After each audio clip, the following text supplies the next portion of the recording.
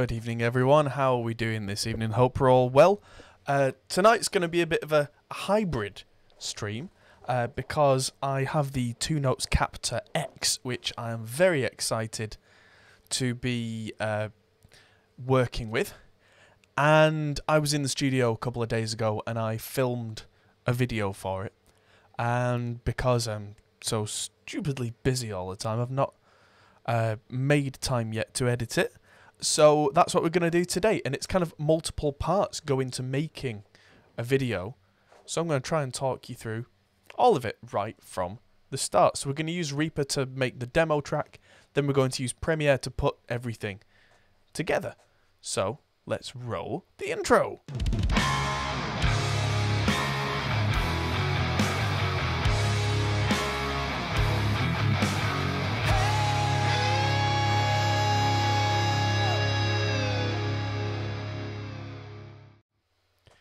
So the first thing that I'll do today is I found a nice little shortcut in Reaper which I really should have known about a long time ago. Uh, you ever used Chrome or any of the other web browsers and you hit F11 and it gives you a full screen? Watch what happens when I hit F11. Da-da! Little bit more screen space. It gets rid of the start bar and all the stuff at the top. And suddenly, I've just got a little bit more space on screen to work with. Really, really nice little feature. So I'm going to crack open one of these old speckled hens. Do feel free to have a drink along with the stream if you are of legal drinking age where you are, and do drink responsibly, of course. And this kind of mushy stream of noise that you would have heard at the start of the stream is a set of guitar tracks that I recorded with the Captor X that we need to add some drums to then do some EQing to make them all fit together. Because each one of these sounds really good on its own, but in context, they all kind of clash, which isn't the Captor X's fault. That's where mixing comes in and is a thing. Because if you start stacking things that are roughly in the same sonic space, they can't be made out clearly, and that's that's just something that we have to do.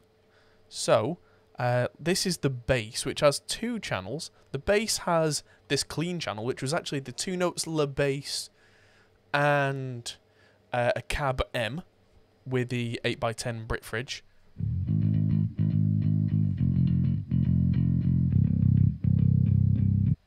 And I had this idea, I came up with the kind of the, the riff on the spot for the song, uh, where I decided it was in 6 8 and did this 1 2 3 2 2 3 1 2 3 2 2 3. But yeah, the the thing about the bass tone is that that's the clean bass tone, which doesn't have much top end, which is unusual for me. But the uh, output, the there's a through out of the Le Bass, so you can chain that with something else without it going through that. And so that ran into my new Mesa V Twin preamp, which was through my Mesa 5050 power amp. So basically, I made a very early 90s dual rectifier and then shoved that through the Captor X with the twin tracker on. And so that, I shelved out a lot of low, low end and it sounds like this.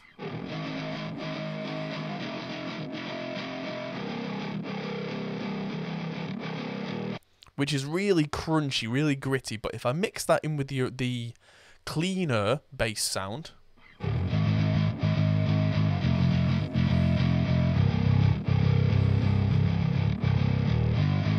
That sounds pretty big to me. We're going to have to do some work to kind of massage it a little, like I said in the mix. I decided not to use the EQ specifically on the captor. Not because it's bad, but because firstly I was running out of time because I had to get everything filmed before I uh, did some filming work with Glenn Fricker. Oh, uh, announcement for everybody. Uh, tune in tomorrow for the podcast. Definitely tune in for the podcast. Uh, Glenn Fricker is going to be on the show. Glenn Fricker is going to be our special guest tomorrow on the podcast. And I am so excited. It's going to be brilliant. Uh, so, yes, the Hop Pole Position featuring special guest Glenn Fricker tomorrow, 8 p.m. UK time. Tune in live. Don't miss it. It's going to be amazing. So, uh, back to this. This is the original track that I came up with. uh, I was pretty much making this up as I went along. Uh, so it took me a few takes to get this right, but this was the original track. I think this was my 6505 because I killed the 5150 a few days ago. Long story. Uh, it'll be fine. Uh, but I put the twin tracker on and I got a click track and I pretty much, yeah, I wrote this in one go. Uh, it took me a few times to kind of get the idea and then I just let the tape run essentially and did an entire 60 seconds and it came out as this.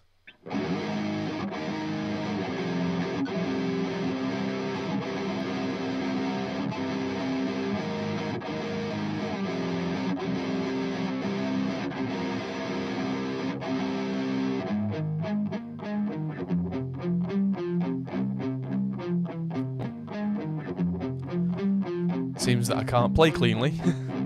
Might have to edit that a little.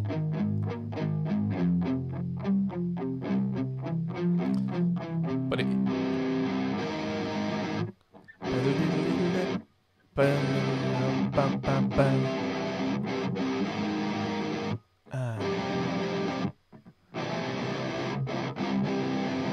So it's only three chords.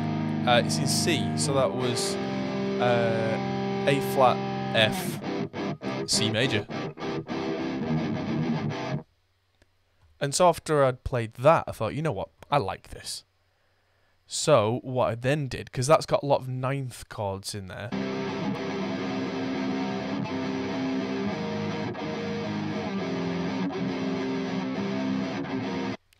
Pretty sure that was the guitar there was the PV6505. Because if I play these back,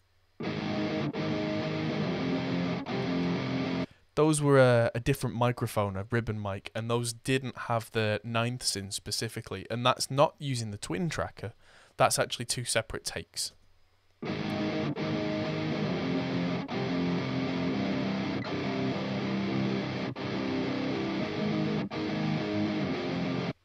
So this one's really mid-focused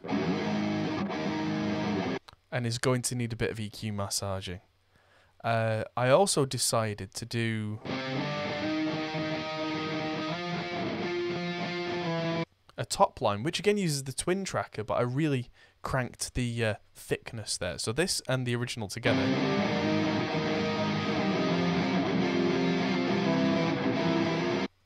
Sounds pretty cool.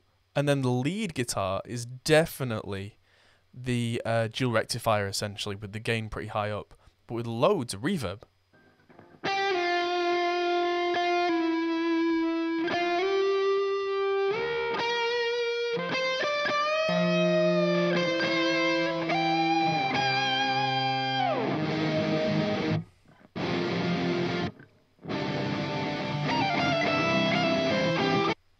Yes. that On my phone will be YouTube telling me that my video is live. I know. Oh, um, so the headphones. Uh, these are not new headphones. These are actually old crap headphones. These are Sony headphones. They're about £15 for a pair of these. Uh, I am a complete idiot, and at the end of my filming day, uh, I think it was Monday, I left in a hurry and didn't pick up my 650s, which I'd taken to the studio with me. So uh, I'm not going to be able to mo- make the most informed mix decisions on these. I'm going to try my best and get through this as best I can. I have turned off Sonarworks so it's not negatively affecting me. Uh, but what I'm going to do is uh, add some drums to this, do some fairly standard EQ moves to get everything to fit, and I'm going to export a what I would call a rough mix. And that from there, when I've got a rough mix, I can then use that in Premiere, put the put the video together, and then on Saturday morning I'll be back in the studio. Uh, I'll use the monitoring system there to check the mix of this for any resonances, anything that stood out that didn't appear on these cans. Uh, then drop that in the, the video, export it, get ready for upload uh, Saturday evening. So yeah, um, it's not ideal, but there's always a way round a limiting situation. So, cheers. But yeah, this this lead.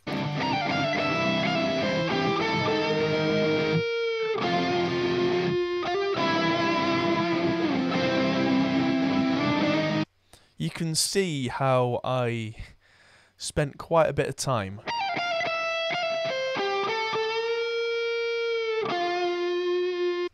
trying to pull out uh, a take there.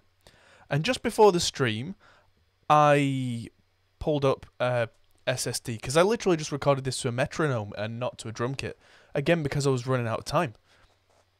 And I wanted to get everything filmed in one day so I didn't have to make a second trip. And so I've pulled up uh, Steven Slate drums with the Blackbird drums, which I do really like the Blackbird drums. Uh, the the Blackbird Studios in Nashville is one of the nicest studios in the world, and I really hope to work there at some point in the future. That would be amazing. Uh, a man can dream. Uh, and so, well spotted on the headphones, by the way. Uh, I picked some shells out, including a, a nice Craviotto 22 inch kick that had quite a lot of oomph, but not too much uh, ring that I was going to have to fight it. And so, uh, what I might do now is just add something in. You see, there's a pretty uh, gradient on these. I've been playing with SWS extensions recently, and you can do nice things like that. Like if I select all these and go to track color, uh, I've installed SWS and there's SWS track color there. I've added a load of custom colors that I like, but there's set to color gradient. And you see how it magically just makes everything look like I'm on a beach. Really nice. so, first thing I'm going to do is uh, add myself a little bit of MIDI in here and literally just make myself a little template. Night night, baby. It's Ivy's time for bed. She's been up a little bit late because she uh, slept late. So I'm going to insert a new MIDI item here and I'm just going to do one bar. So there's my kick on C2. I'm going to use snap and we go boom, boom, tick, tick, tick, tick. There it is. So it's quite a slow song. So that's boom, ch ch dum ch ch. Oh, there, there. So that's supposed to be on. There we go.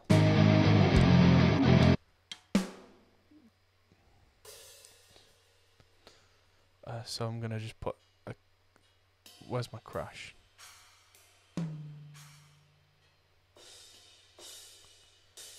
Crash, not not hit quite that hard. One, two, three. Two, two, three. And they should be a, lot less. I'm going to make sure velocity that I can see, so it's going to go one, two, three. Two, two, three. I'm just going to copy all that over.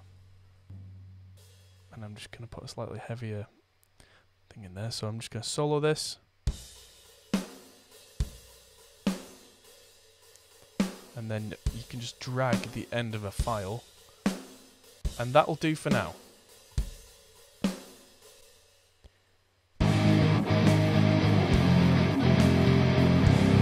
Right, so everything is too loud, and that is fine.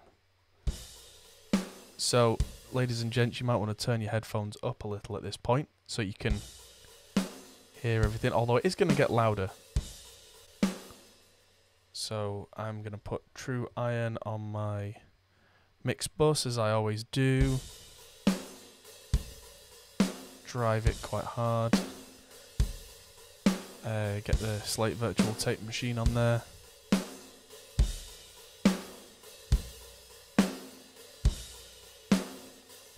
That's all doing stuff I like.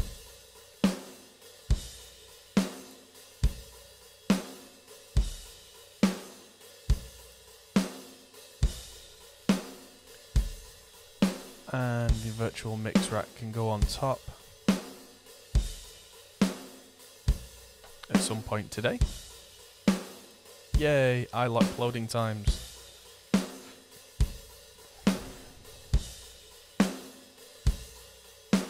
There we go. Add on the SSL channel.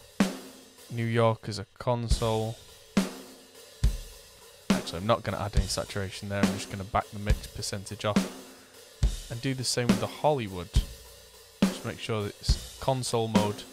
That just adds a little something, something for me. Just on the drums, if I turn all of those off, none of these are supposed to add any volume, but the harmonics they add end up sounding louder.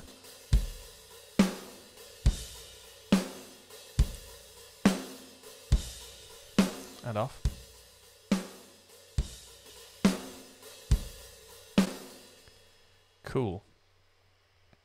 So, uh, usually at this point, I add... In fact, I'm just going to leave the mix on the drums pretty much as it is for a minute. I add bass in. So that's way too loud, but that's fine.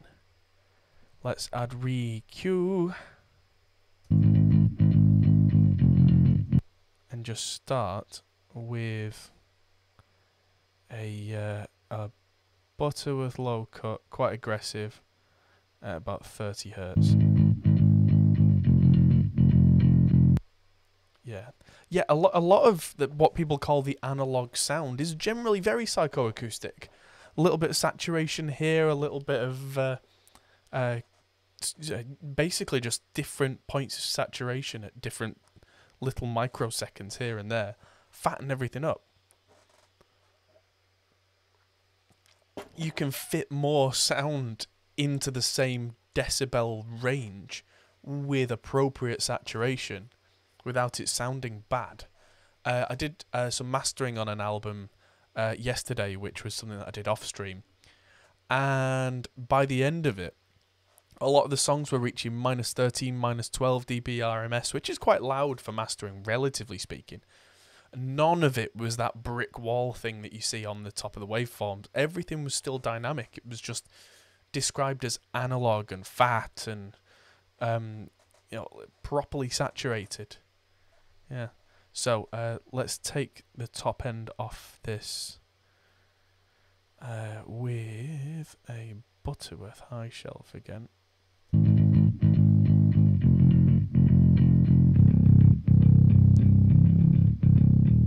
and I can definitely hear a low mid honk that I really should have heard in the studio.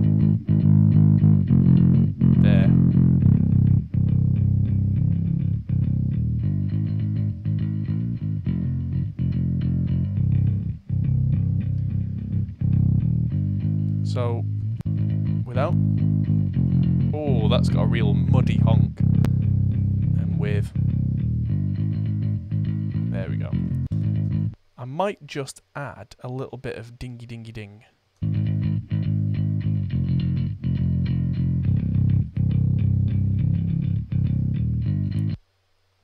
Well, if you want to do a drinking game with air quotes, like I said, drink responsibly. Or should I say drink responsibly? So I'm just adding a little bit of high end here, but uh, not overkill. I just like some definition on that pick.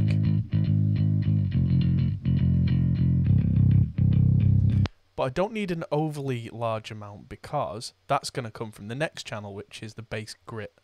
So what I'm going to do now is uh, make a little folder for the bass and put these two in it. And then give these uh, a colour of some kind. Purple, nice, love it. Save. So by bringing in, oh, I'm just going to EQ the bass grit as well separately using a ReaEQ because this has no low end on purpose already.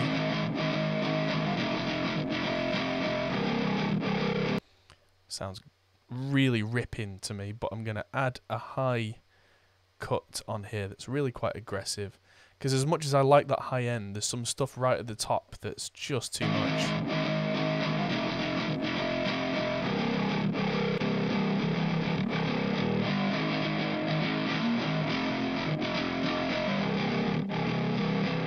There we go. And I can hear a radio style resonance, maybe 400 hertz.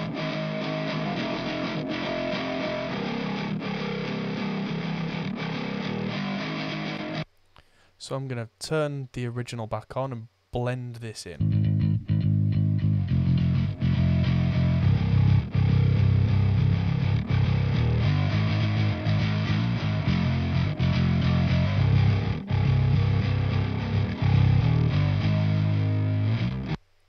There we go. So there's so, so far absolutely no compression on this.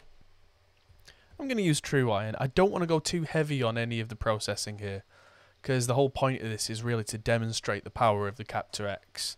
Uh, but apart from a little bit of kind of analog saturation, which is just my style anyway, um, I'm really like EQ moves there are exactly what a front of house sound guy might do. You know, like I'd like to hear more of this don't need as much of that personally. Um, not fixing issues really, because there shouldn't be many issues. Hopefully.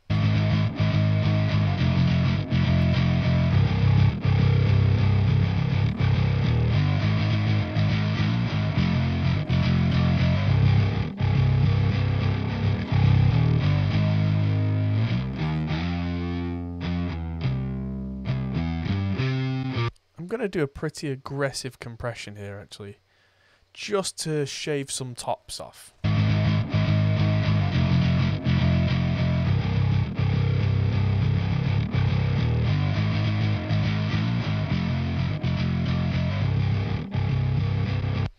Now let's bring in the drums and then just fade this bass in.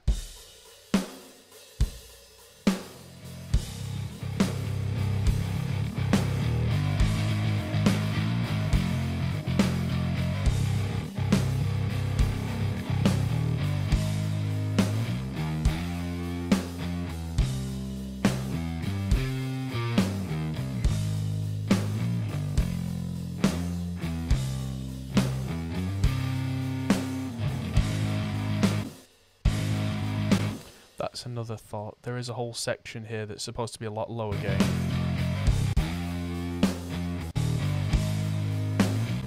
So I'm going to slowly fade that away there. Uh, it's got a snap on. There we go. Gmail.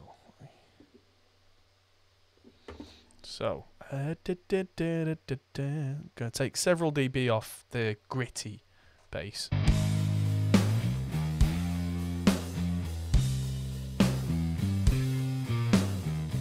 So that be because uh, the guitars are significantly less gainy there, we don't need nearly as much of that distortion on the bass to make it cut through.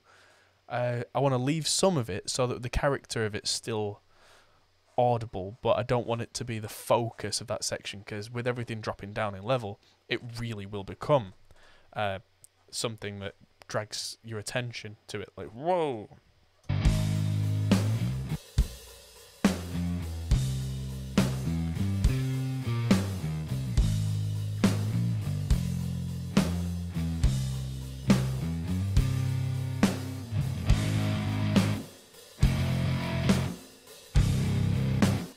Okay, let's add in this first rhythm guitar now.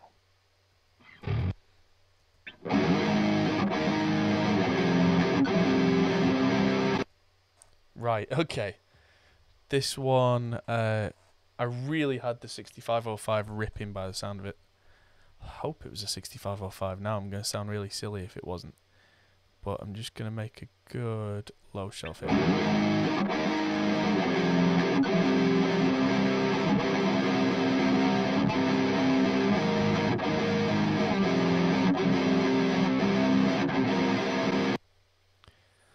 Just cutting all the cack out.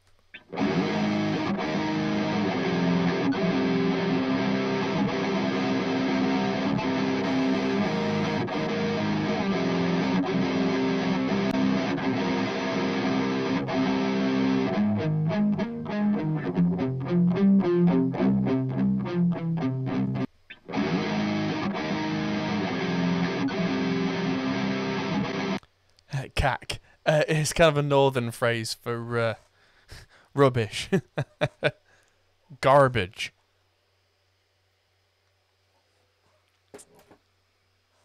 Yeah. Yeah, it's it's uh, muck, as it were.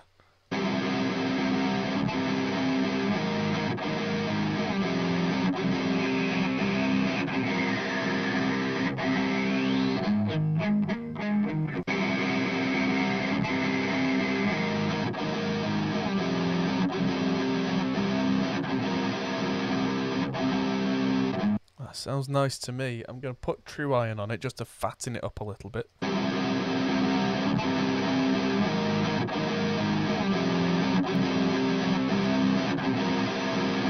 Oh, I can suddenly hear a scratchy resonance up here somewhere.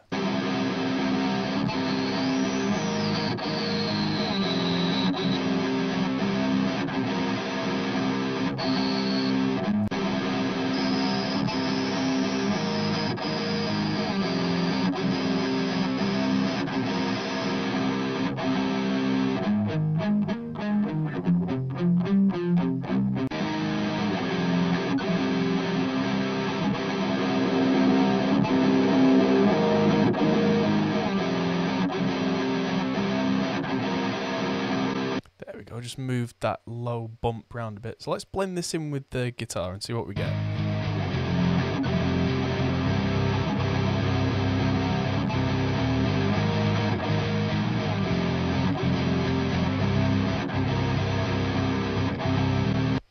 There's still another bit in this mid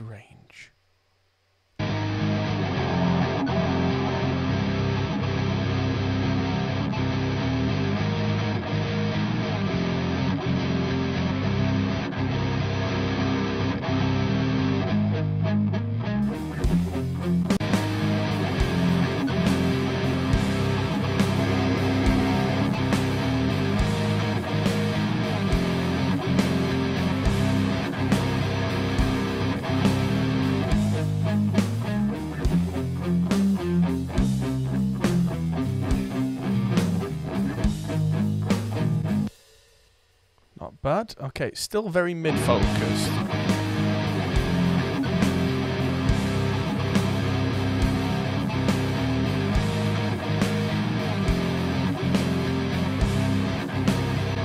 But that might be okay because I've still got another two guitars that I need to group up and call these uh, low rhythm. Why not? Because these are already from the amp much more scooped.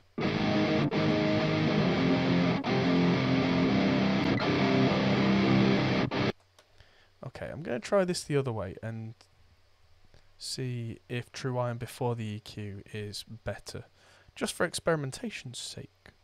So low cut, quite drastic.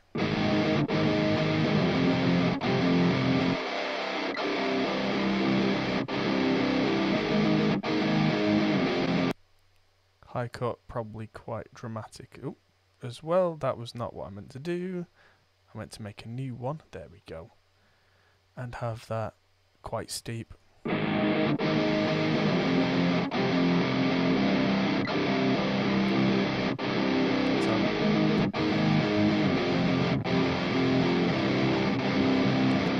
Certainly feels good with all that low end, but in the mix it's probably quite stuffy.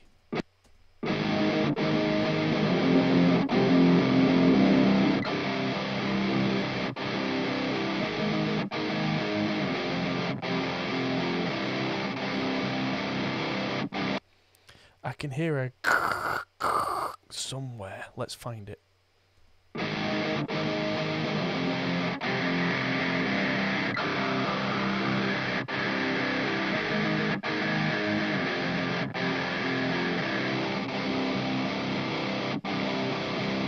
There we go.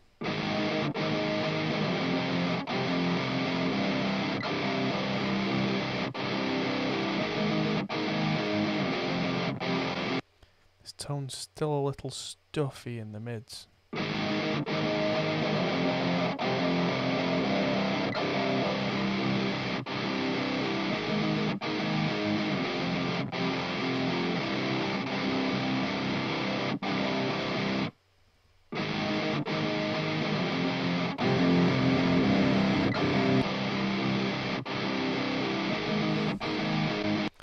that definitely sounds a lot more like a rectifier now. Let's blend that in with the other one.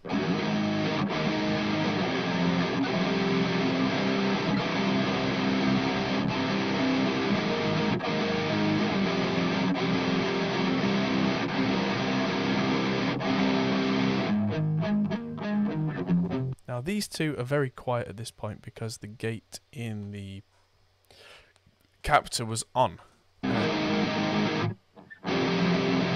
But the original didn't have the gate on because I'm silly.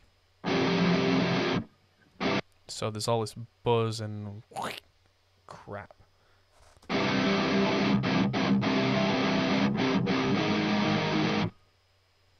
just get rid of all that. Diddle diddle diddle diddle diddle Luckily for us, we're only doing this for a 60 second segment. Let's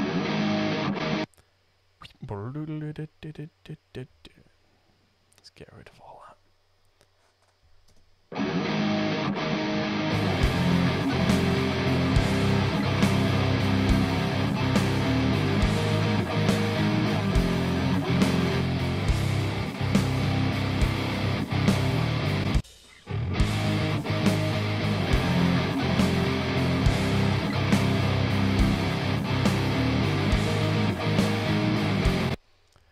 Hello, Marty. Yes, tis beer o'clock indeed.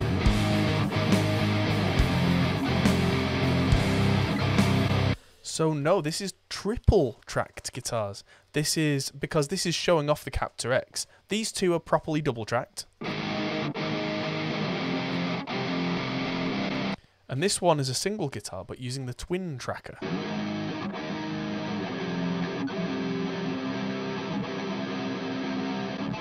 There is still something in here that needs to be tamed. I'm gonna make it.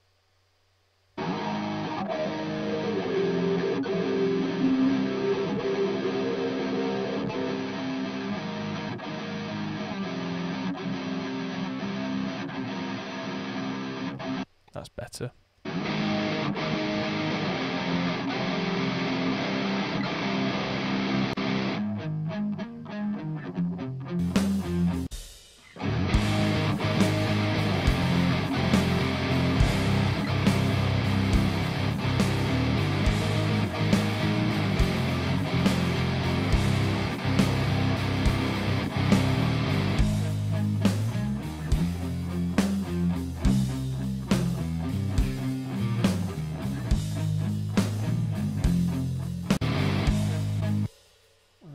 This one up a little bit.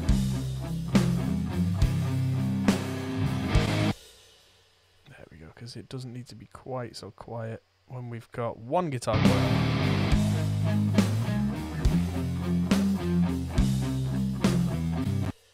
Lovely. Now let's look at this rhythm guitar here. Oh, lots of level. Uh,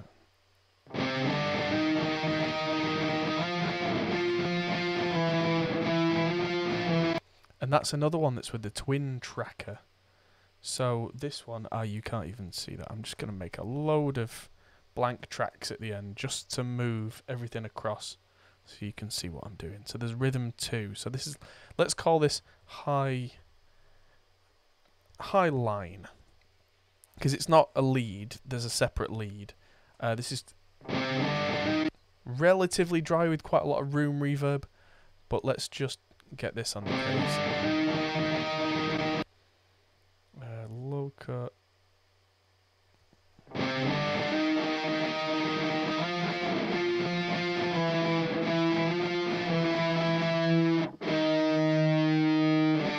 There we go. I can be quite aggressive with the, the low cut here and make it 160-ish dB. Because uh, I don't mind making it that aggressive because this is a, a, high line above a normal guitar. So making it quite aggressive and getting rid of the low end is only going to help it.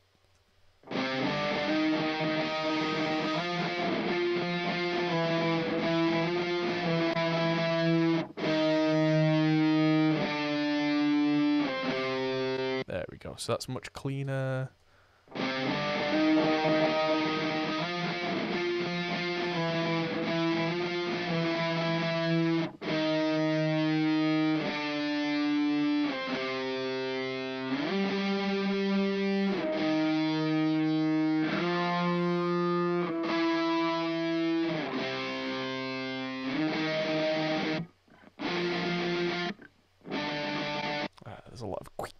So this needs cleaning up as well. Nice. Also, interesting fact out of those two rhythm guitars where one had loads of cutting that we needed to do and the other one didn't, the one that didn't was using a ribbon. And the one that did uh, was using an SM57. SM57s are not nearly as good as people think they are. So let's listen to this in context. It sounds quite mid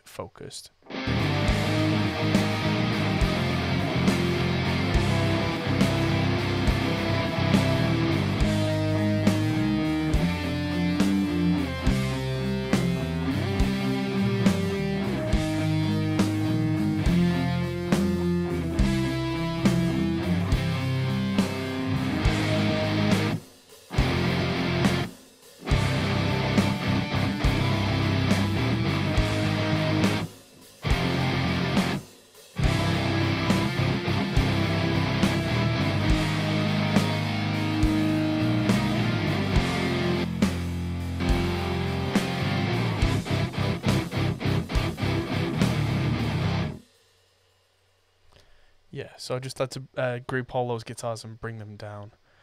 Uh, it, it sounded familiar to me as I was writing it. I was sincerely hoping that I wasn't copying anything. Uh, but it's only three chords round and round, so it's going to sound familiar for a start. Uh, it reminded me of Linkin Parky type stuff, but I don't know.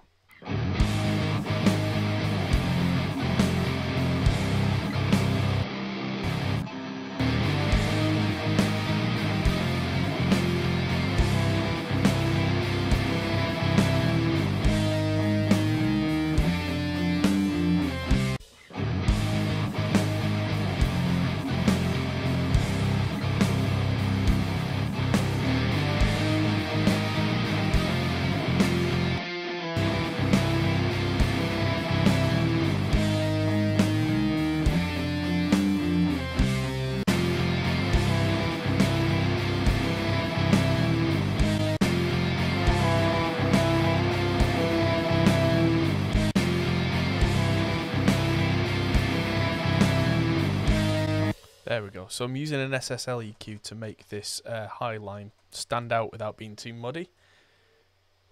Because it, it works. There we go.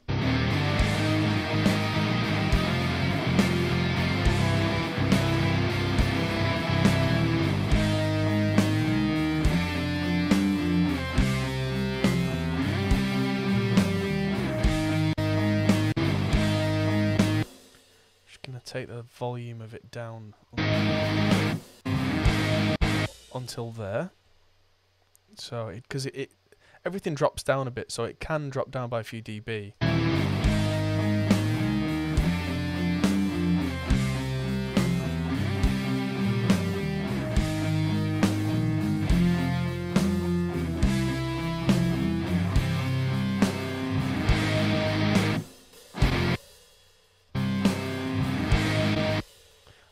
This guitar was a bit rushed. I mean, I was literally making it up as I went along, so just going to shuffle it forward a bit.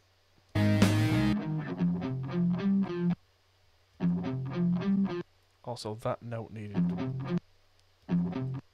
needed fixing. So that should be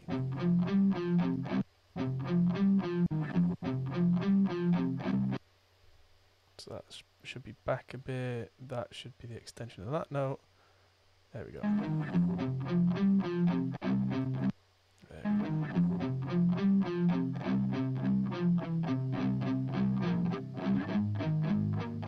There we go. It's not the most perfectly played guitar part in the world. Um, there, funnily enough, I didn't do any of this on purpose. This was literally just let's write a riff. What sounds do I like? Go. And it sounds like if Linkin Park and a lot of the nu metal bands played Steven Wilson and Porcupine Tree. Funnily enough. So it's a lot of what I like mixed into one.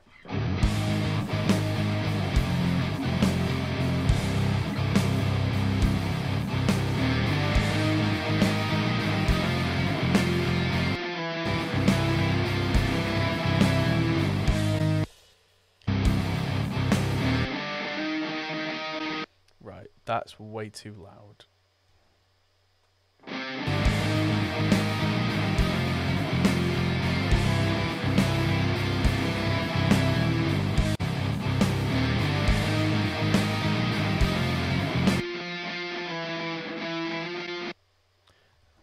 It's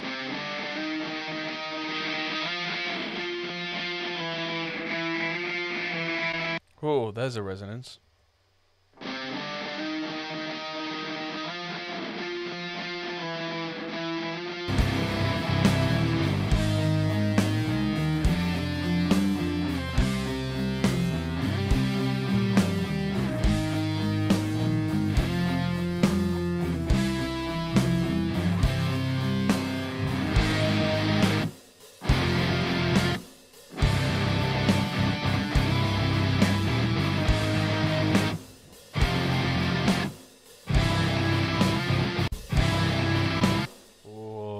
Bass playing. What about it? That needs to hit later.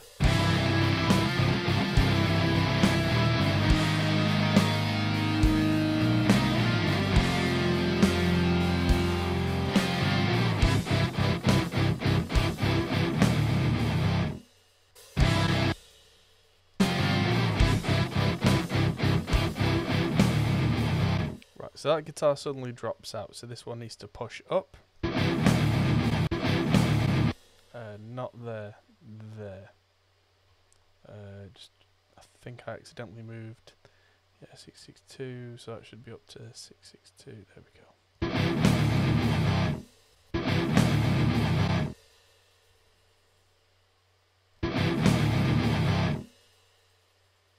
Okay. Now, as the phrase goes, I think that'll do for now.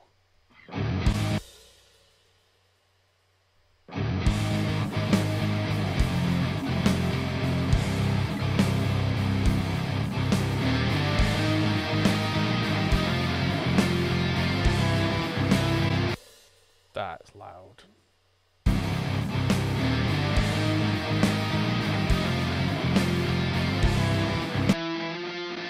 That's not cutting through, but it sounds stuffy still.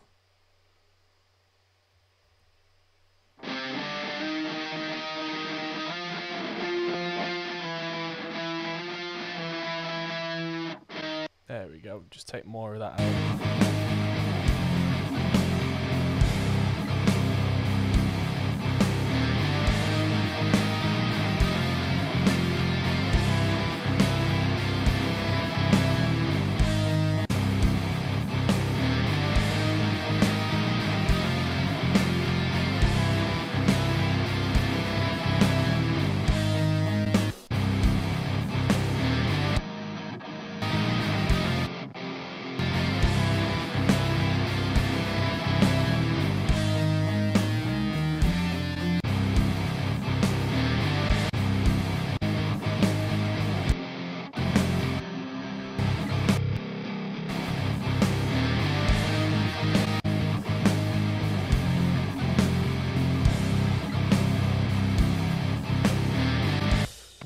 Problem's the bass. Interesting.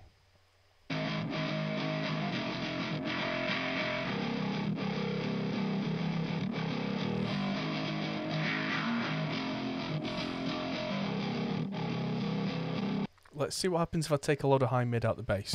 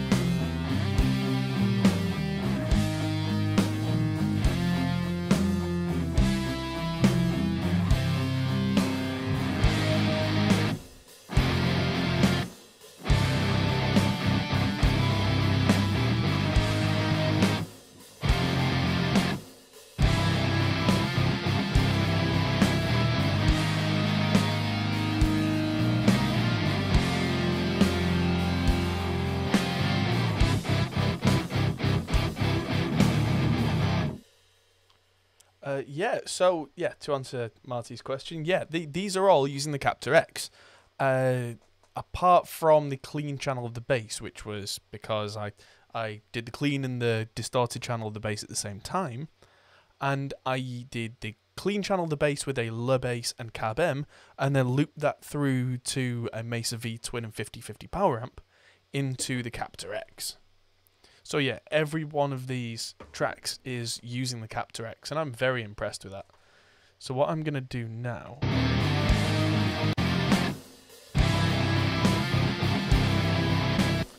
Is I'm gonna render this out, uh, and I'm gonna call that for now. Um, I am gonna come back to it. I'm probably gonna make the drum track uh, tomorrow lunchtime, and then make the drums hit a bit harder and fit properly with it, and then do some small changes. But that's what I need for now because the focus of tonight is probably going to be no, I don't want the entire flipping project. I never want the entire project. Um, I always want my time selection. Uh, the aim of tonight is going to be to uh, pull the video together as best I can so that by Saturday morning when I get to uh, listen to this on proper monitoring systems because I don't have anything right now, then if I have to get out of this, then I'll be able to just go boop, change, drop in, render, go. So it is a bit chocolate starfish. There's probably a lot more mid-range going on in my tone than there would be on, on something like that.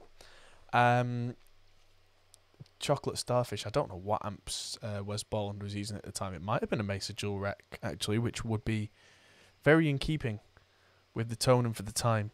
Uh, Premiere, hello, sometime today. How would my approach differ if it was a different genre of music? Um, hard to say. Watch the streams. Um, it all depends on the end vision. All depends on the end vision. Um, techniques don't really change. Uh, approaches can change massively, and it all depends what I'm given as well. Uh, so yeah, if a band comes in like I did mastering on a a very much more ambient type album yesterday, and the approach was completely different. Uh, it was much more kind of analog, fattening things up, trying not to EQ too heavily. Why do I keep getting emails about things I don't care about? Right, so uh, I need to make myself a new project. Uh, HPS uh, Captor X. And I need to add all the footage in. Uh, so, oh yeah, so that's the Captor X walkthrough because this video is going to be in several parts as you'll see. So I'm going to make myself a source footage bin, which is what they call a folder basically. And I'm going to import a lot of files don't necessarily want you lovely people seeing the entire uh, contents of my hard drive. So I'm going to add all the video in there, but I'm also going to add in from my Dropbox the wave files for the voiceover because that was all done using different mics at different times. Uh, come on, brain, where are you? Brain, where did you go? So I'm going to add in the voiceover. There it is. Going in, and I'm going to add in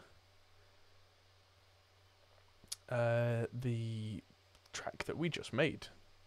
So there we go. Our uh, main footage is now in there. So what I'm going to do first is look through these. That's me kind of being an idiot. Go back to porn now. I mean, you've got the wrong stream if that's what you're looking for, mate. So, There we go. Here's the bulk of the video. And I'm going to change this sequence to be HPS Captor X. And it looks too dark, and that's fine. So, how long is it? 15 minutes? And this clip is 18 minutes, so that's probably it. So I'll drop my audio in. Yep. And get them both synchronized to audio. And take a second to grab me a beer. There we go. They synced up, didn't give me any errors, so I can mute the original audio, thank God.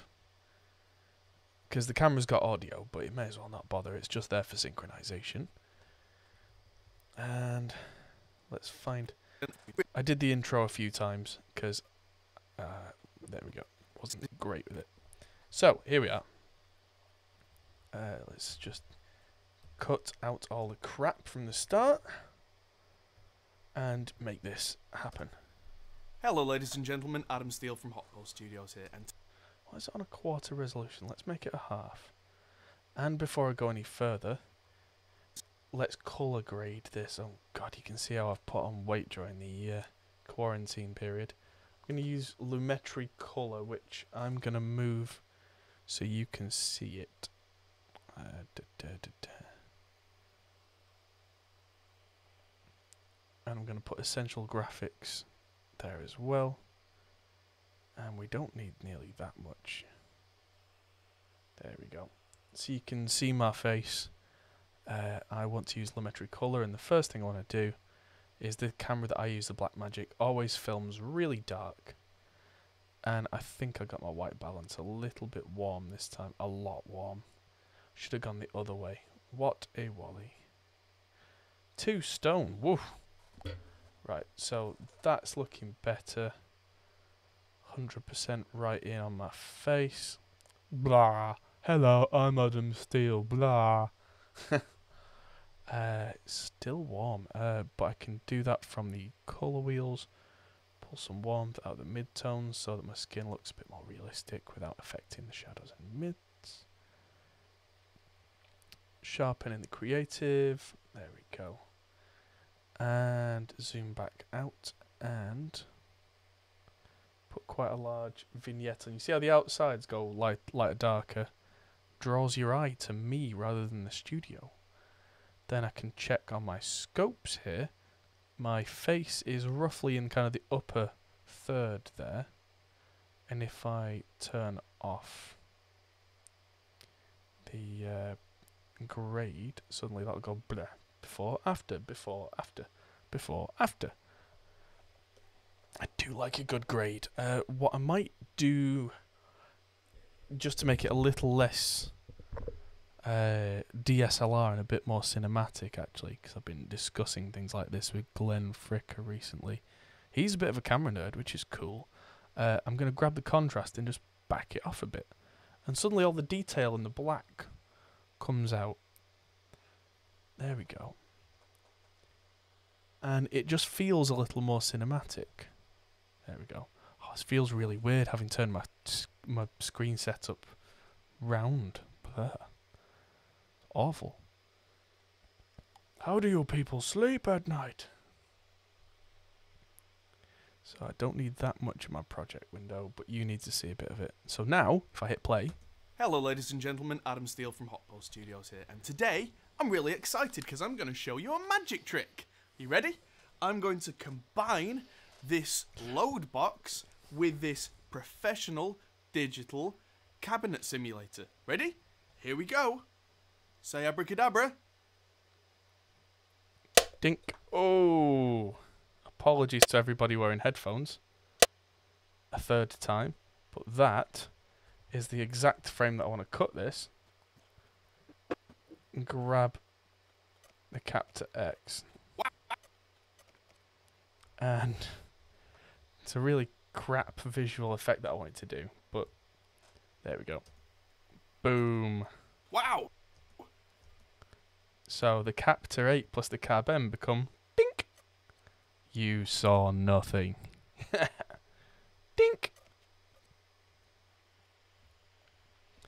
And just to make it really silly, uh, I'm going to add an effect of a dip to white. Uh, dip. And a dip to white is a transition that does that. Bang. There you go. Wow. and it's the the most cheap effect in all of history. But yeah, million dollar budget, ladies and gentlemen, million dollar budget. Uh, I might come back to this and find like a an explosion uh, sound effect to add underneath. Wow. So, bear There we go. Uh, the vocal's a little bit shouty. The shotgun mic's a little further away than I wanted it to be because of the camera angle. Uh, so at this point, I'm going to do a bit of mixing in Premiere, and this is where a lot of people don't know about this in Premiere, and it's really annoying. In Premiere, there's this tiny little button in the audio track mixer. If I press it, does this look familiar? Inserts, send, effects. On audio 2, that's where we are. I'm going to add a multi-band compressor. And this multi-band compressor that they have, uh, it doesn't say it anywhere. It's not branded. It used to be branded. It's made by iZotope, same people that make Ozone. And the broadcast preset, this will suddenly be quite a bit louder. Wow. So there we go. Uh, that's turned this into the Two Notes Engineering Captor X. Whew. So there really is some uh, kind of honky mid-range on this. So let's go to a talking point, find it, and just dip it. Of things, and it does a lot of things very well. It's all the There. technology that the company Two Notes have been working on for years and years, pretty much all sandwiched into one little box. There we go. So, bit more low end, bit less of that piercing high end. Uh, I'll have a de-esser after my vocal. First and most obvious thing that this Captor X can do is it's a load box. It's rated at 8 ohms and it can take up to 100 watts out of your guitar amp, which means if you've got something that's really like a big head like this There we go. And last but not least, uh, I use the denoiser that's built in because the new one is a lot better than the old one. But what I do is I make it entirely 0% and then just add the tiniest bit because otherwise the artifacts really just kill all the top end. 5150 and you're absolutely blasting it pretty loud, you can plug a speaker cable straight from that into here instead See- of your speaker cabinet and it will just take it and it'll be able to run silently. Oh,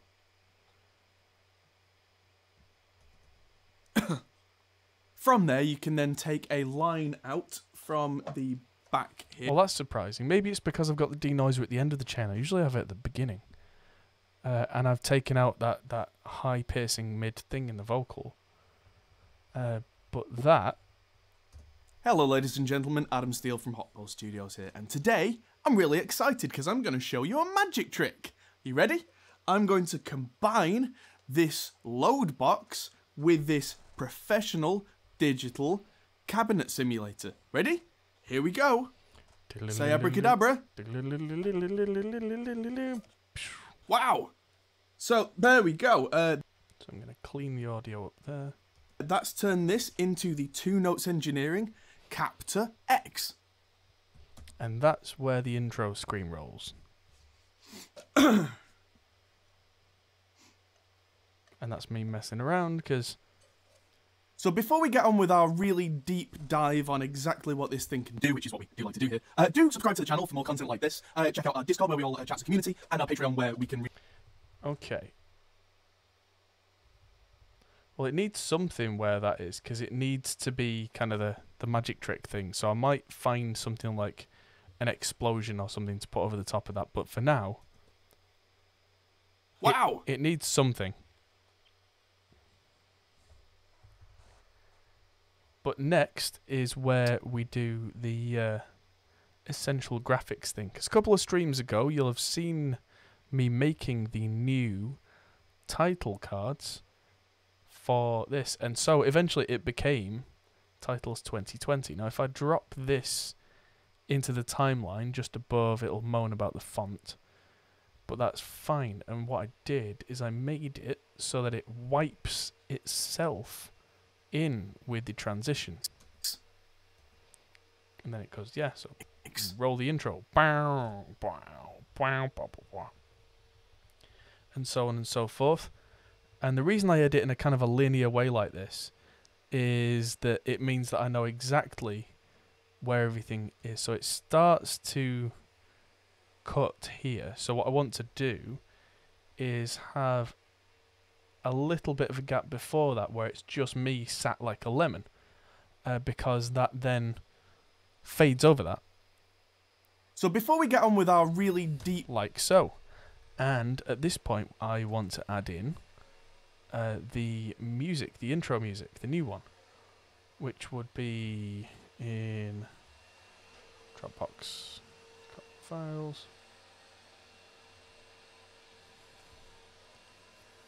Am I doing a giveaway competition? Not currently. Um, might be able to do one at some point, but right now, I'm afraid not. Uh, HPS theme 2020. Okay, so that can go in there and can have a nice long fade out on it. I do need to make a 15 second version of this. On Saturday, I might be able to add the vocal in that I was talking about. Uh, this is probably going to be too loud as well, uh, so that's going to come down. Yeah, I'm not giving away the Captor X for not least because I don't think it's mine anyway. Uh, Rabea Massaad had it, then Tom Quayle had it, and now I have it, and it's a prototype loan unit. So unfortunately, uh, I can't give it away even if I want to. Captor X.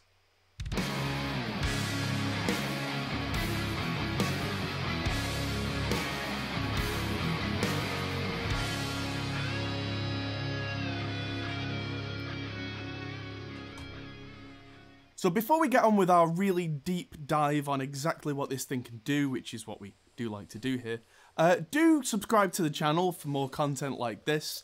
Uh, check out our Discord where we all uh, chat as a community, and our Patreon where we can really uh, get support to make more and more of these kinds of videos. So let's rewind a second. What exactly is this? Right, so I think that is where our little demo video is going to go. So it's going to dip to black. Uh, so that'll be just a cross dissolve added in there, which I put. I used Shift and D because that's my standard fade. Make more and more of these kinds of videos. So video. Videos. There we go. Little gap. Yeah, the intro music's it I'm so much more happy with it. I mean, I've I've gained skill as time has gone on and doing it in front of people as well spurred me on to really take some time with it. So, I'm now looking for a different Hello? Oh. Guillaume from Two Notes has started a watch party with this video which is awesome. So, uh, what video? What is this? What's this? What's this? Ah, that's what it is. It's not a picture of that microphone at all. Why are the controls to that so messed up? Uh, anyway, uh, I'll be coming back to these close-ups. This is the beautiful, beautiful thing in all its glory. Oh, why does it say live on the graphic? Uh, that's not the that's the intro. Yes, so that is because this is an essential graphic. I can just change that. I can go like that. So it was live because then I made uh, a render file of it, which I can then use on the live streams. Did I change the live stream one? No, I didn't. I will do that. Um, but yeah, I can change this now to Two Notes. Captor X in depth review. And because this is an essential graphic in uh, Premiere, I can just do that. And that's got its own nice little kind of zoom in and out there. And it's all done. And all I had to do is drop this thing in, drop the music in, change the text. Usually I come back to stuff like that at the end of when I've done a video, I kind of proof watch it and do some quality control. So yeah, I, at this stage I'm literally just throwing the assets in and then I like to do a grade and a rough kind of audio match as I go. But at the end, I do watch through everything and make sure it's right. So that's ah, there we go.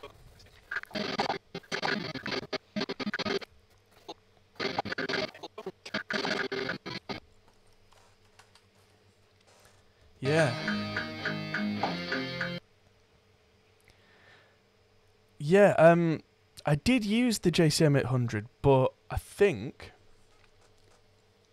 I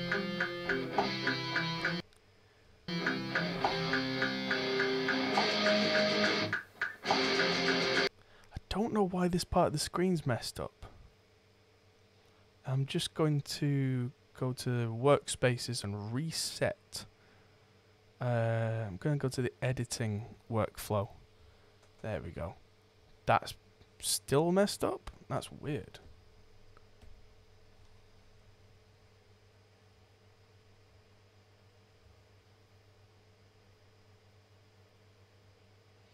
That bar I, I, I use quite a lot. Why? Why you do this?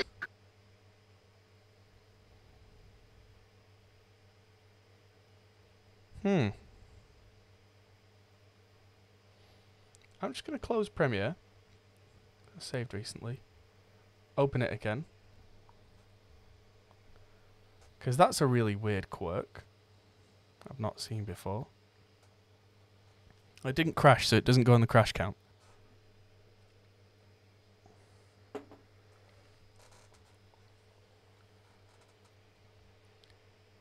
What?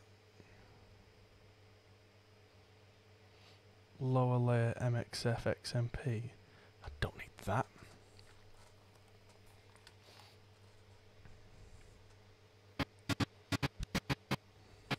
Yeah, it's fine. Uh, so, there we go. Where were we? Footage. Our company's Banter Media, so all the files by default have Banter uh, Blackmagic 4K as the start of the file, if you were wondering why that is what it is. Uh, so let's... Ooh, nice.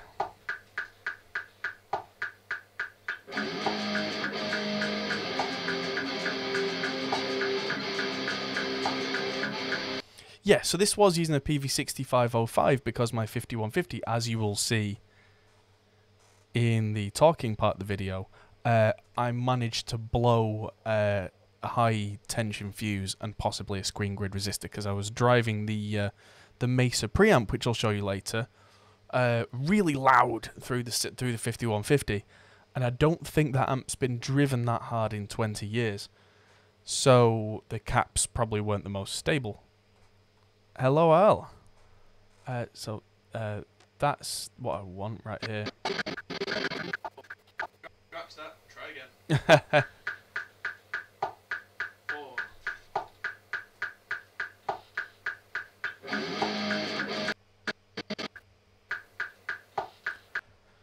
So a bit of background then, just if you're asking about the Blackmagic cameras. Um, so me and Liam and previously a team of 10 of us had Banter Media, full media company, uh, way before I did anything with YouTube.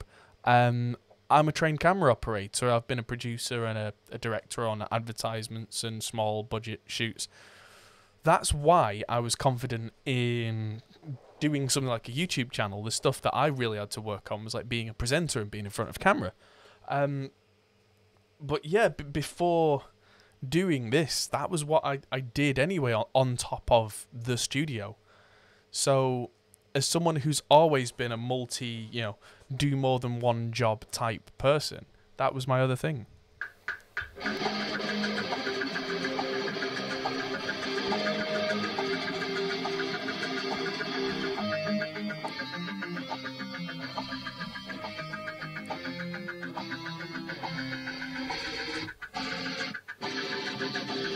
Right.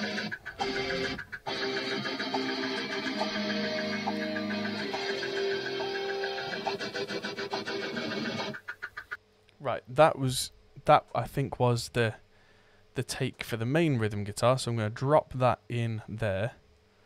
And I'm going to drop the Captor X demo track in because I definitely don't want to hear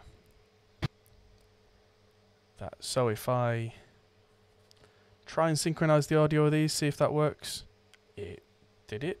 Nah. Did I do a second take?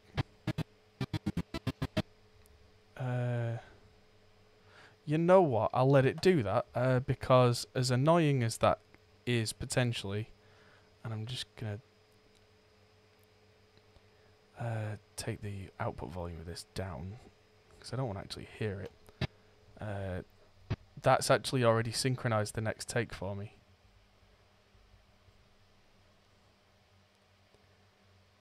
Uh, let's just see if that's right.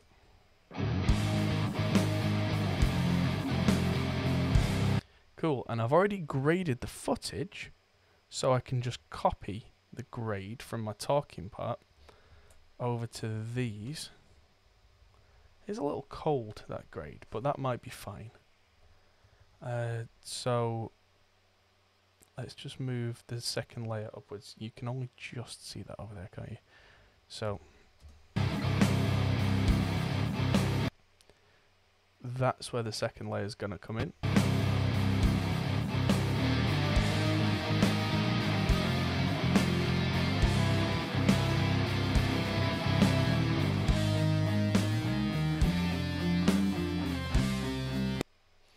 So let's just double click that and just check that I didn't do another take.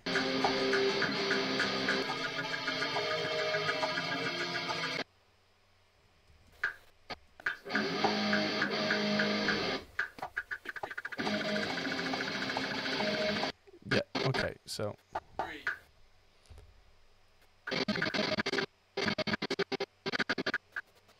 that's the take where oh nope nope nope.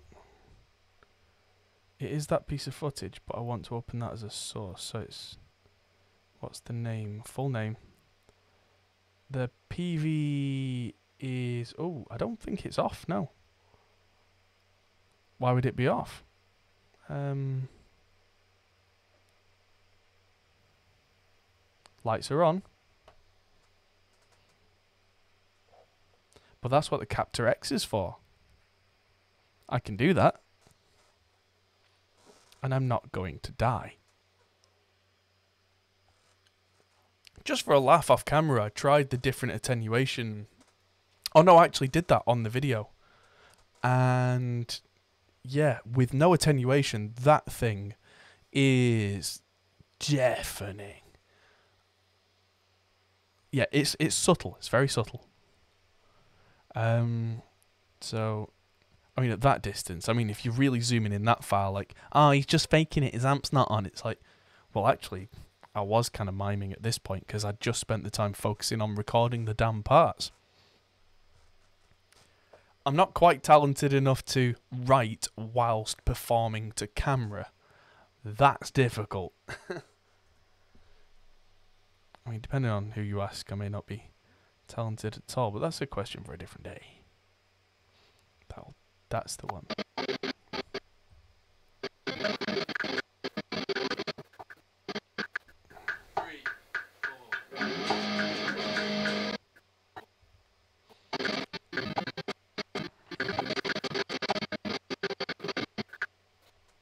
There we go. So that's going on this third row right here. Uh, I'll have to do some sort of clever edit with this in a minute. Uh, but for now, let's just get this lined up.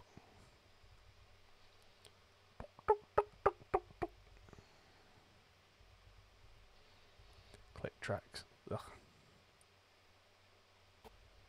Actually, really good for, for uh, keeping video in time.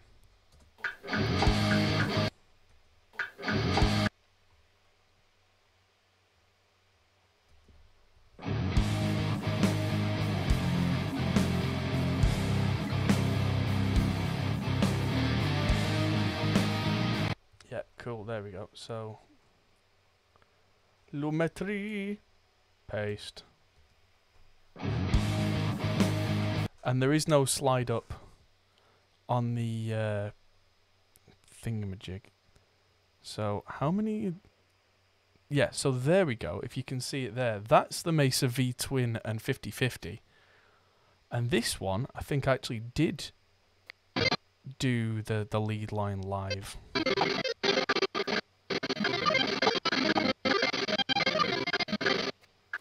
There we go. So,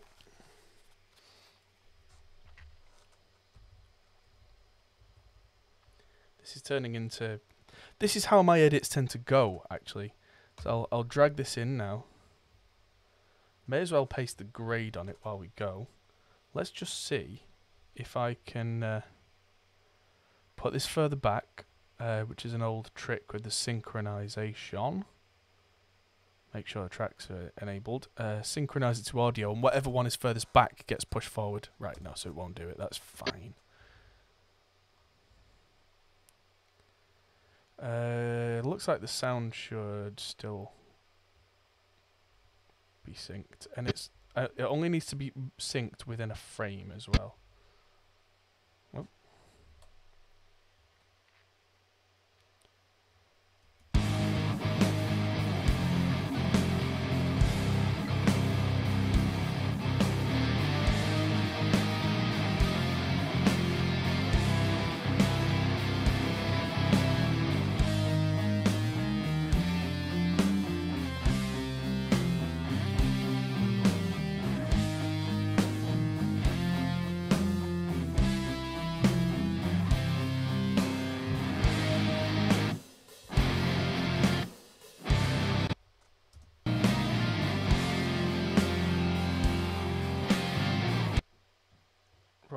Uh, that's a thought.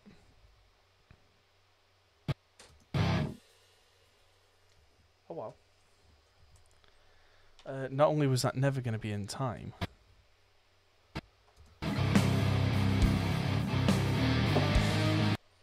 but if we go back to the Reaper project, we never actually added that lead line. Oops. that was uh, rather daft. So let's open up the. Luckily, I've got so much RAM in here that most of this project's still probably going to be cached. So it'll load up super duper hooper fast.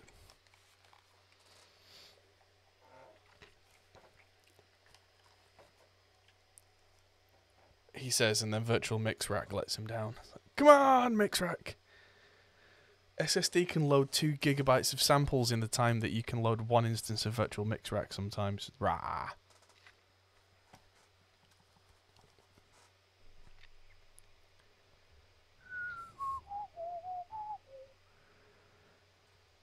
This is all because we closed it and opened it again. The uh, yeah Pace license service, which is the uh, the iLok dongles taking 20% of a six-core processor's entire being. No, no HD 650s today. Um, as I said earlier in the stream. Hello, Brian. Um, uh, I am an idiot and managed to leave them at the studio. So today I'm kind of struggling through this mix best best I can, and then focusing on the video side of things, so that uh, Saturday morning when I'm back at the studio, I can monitor the mix on proper headphones, and then this is taking forever just because of the iLok drivers. This is really, really not Reaper's fault, I've got to say. Pace license service, 20%. It's uh, taking forever. Um, there we go. Suddenly decided it would work.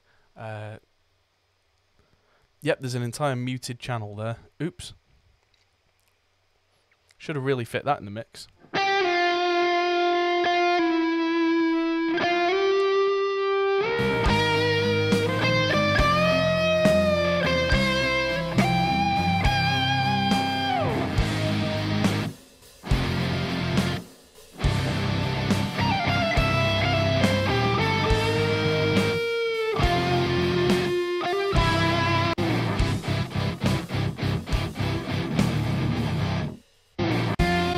We go. So that that was the Mesa V Twin and 5050 that did the lead. I do love that lead sound from Mesa's that thick, chewy, no bite kind of uh, singing thing. So let's EQ this in. And yeah, ReaEQ is really good. Uh, so let's just bring in a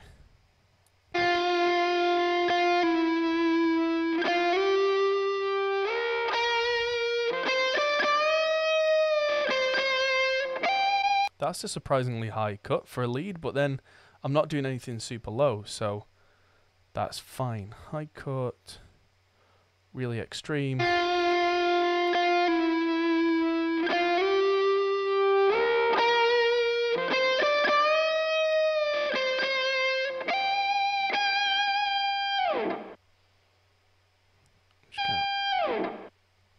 Just gonna, make sure that. There we go.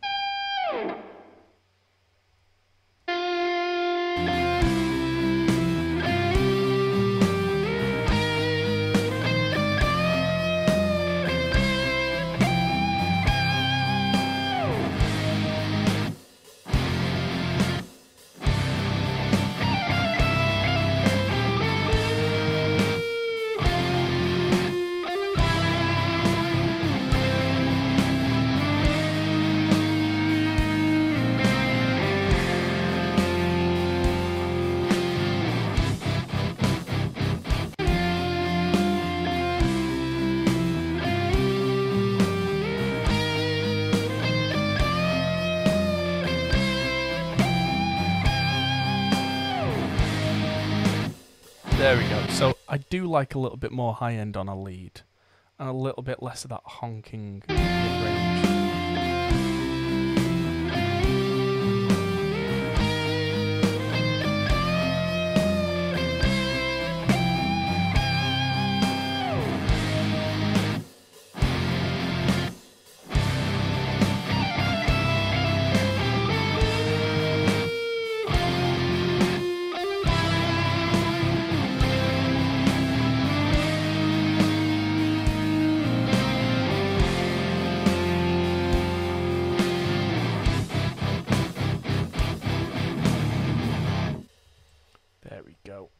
Let's render this again, overwrite the previous file, because this is still just a rough mix. I'm not worried about, like, oh no, you've got to keep all your backups. Yeah, you do, but this isn't going out to clients or anything. This is literally version 1. So let's just pretend that mistake never happened. Save, quit. Thank you very much. Bring up the Premiere again. And because I overwrote the previous file with exactly the same uh, file length, this will just appear magically in Premiere. Right place on the timeline, uh, properly updated audio file, and that should should do the thing. There we go. Uh, so if I zoom out, hit play.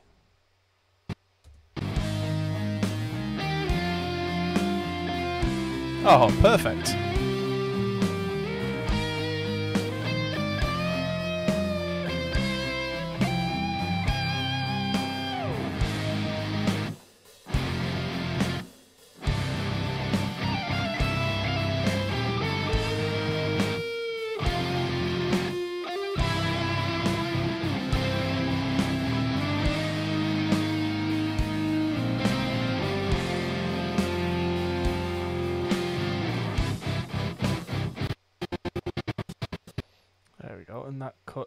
There.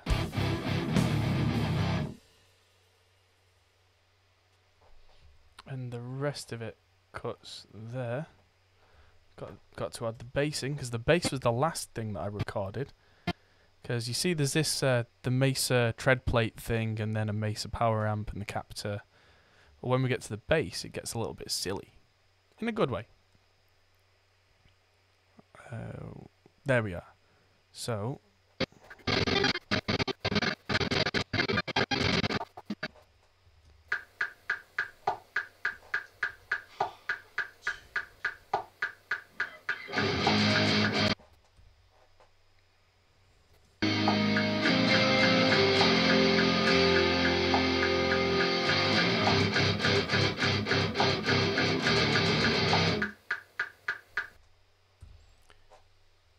Someone want to tell uh, tell Al where my Sennheiser 650s are? Just for fun. Whoever comes up with the most inventive story wins.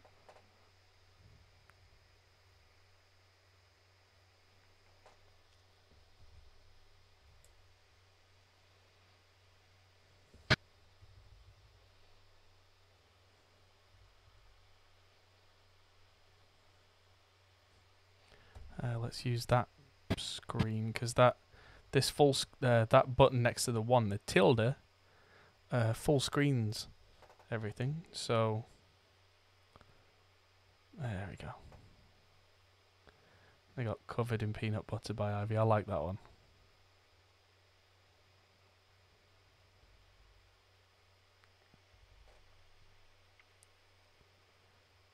There we go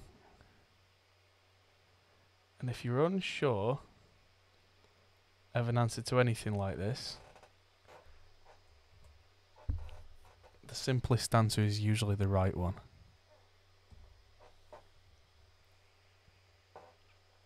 Oh, why did I leave the GoPro in shot? What a complete idiot.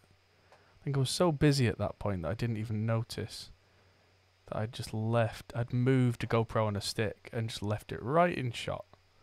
What a complete and utter wally.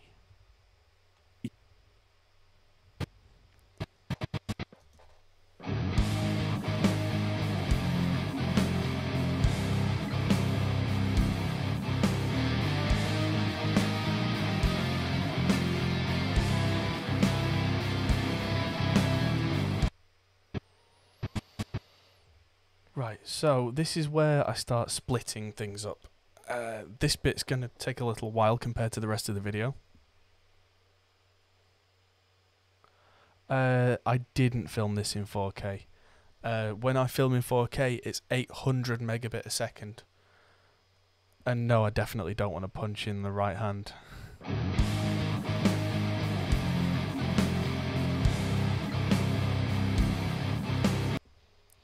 Uh, so I'm going to split there.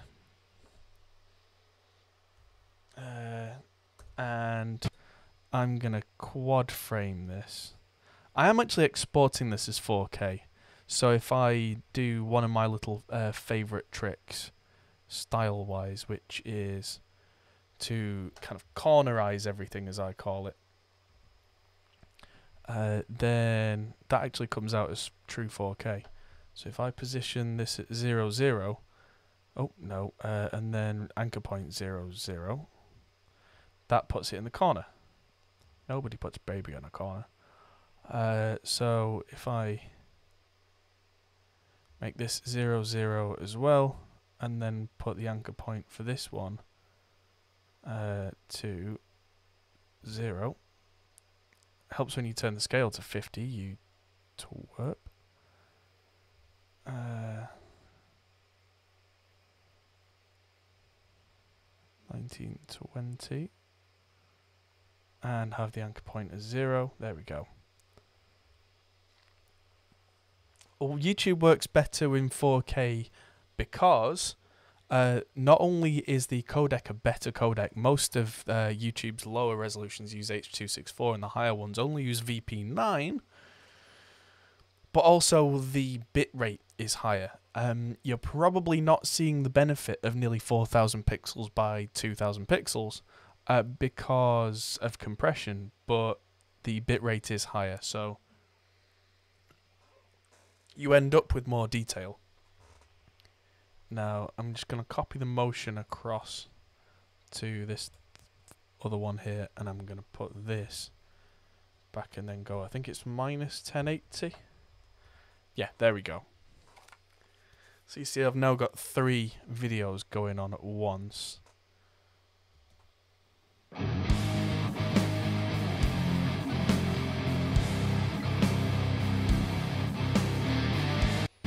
And the fourth one is going to be a glamour shot of, ev of everybody's favourite. The Torpedo Live. Uh, that one. So, sweep across, drop that in. It's a very pretty shot. We're going to have several of these glamour shots dropped on top of the video. Nope. And no, no, I do want to do that, but uh, I also want to minus 1080, so that goes in the corner. Then I want to uh, lumetri color. I know a lot of people do their color grading afterwards. I find that the way my brain works, it works well to do grading at the time. So that's going to be... Does vignette... Yeah, vignette affects it even though it's been scaled. Good. So, so this is where having a decent graphics card helps. Uh, I've got a 1060 in here, which is, you know, you can get better, but now I can have four fully graded things at decent resolution.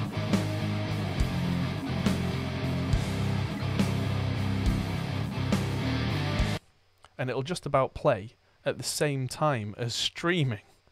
That's insane. So, uh, got five things. So what I can do now is a kind of a, a rollback edit. So what you might have seen there is I grabbed all the footage and just did that with it. So what I can now do is drag one or two of them in.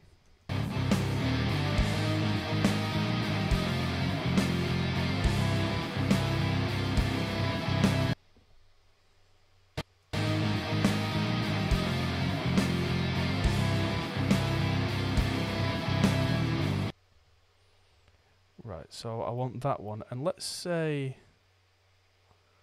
uh, the original rhythm as well. And I'm going to move one off to the side uh, like that. And I'm going to move the other one the other way. And there's an effect you can use in Premiere called crop. Now, I've had a lot of uh, things coming recently by email of people like, "Oh, have you ever tried DaVinci Resolve?" or "Oh, have you ever tried this software? Have you ever tried that software?" And generally, the answer is, firstly, f off. I don't need unsolicited advice, and secondly, yes, I've tried them all. and a lot of them are good for some things and not for other things. I've used Resolve extensively on like feature films. I find that on any sort of long process or something where I need really heavy color grading, really complex color grading with like parallel nodes and really good keying and that kind of thing, um, it's great for that. But I would not be able to work it anywhere near this kind of speed with the workflow that I've got, which is you know things like these essential graphics with customizable text already in them, and um, throwing a grade together super quick and uh, multiple video like this, which is a style that I like to work in.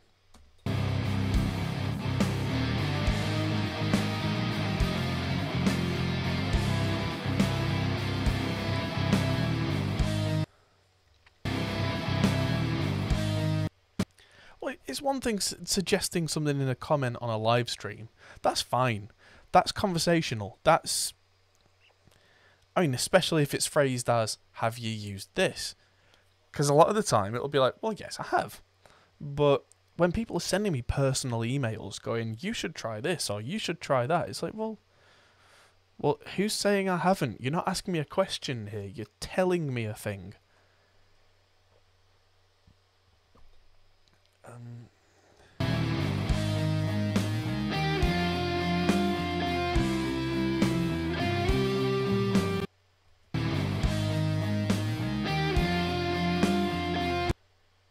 Where's the lead?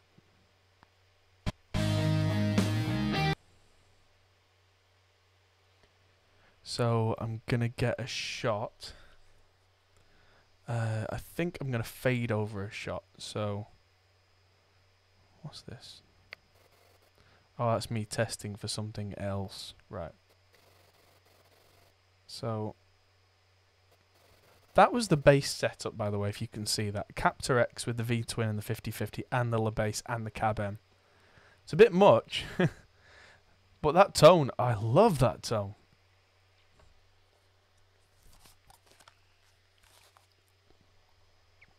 So uh, let's just use. There we go. Uh, I. O. Is the Evertune going in, uh, going to go in the telly? Um, no, unfortunately not. Um, I should really have thought ahead. Uh, the Evertune is a Stratocaster designed Evertune. Uh, Telecaster designed Evertunes have a different shape, and it's too late for that, unfortunately. But tomorrow, the new electronics are arriving for this uh, old Strat of mine, which is going to be double humbucker, and is blocked off in the back, and it's got a real kind of gnarly, attacky sound. This thing. This has been my number one axe since I was about 13 years old and it has a real nice kind of tone to it. You can actually see on camera how worn out the frets are, though. So I might need uh, a fret job doing at some point because uh, I've been playing this a lot.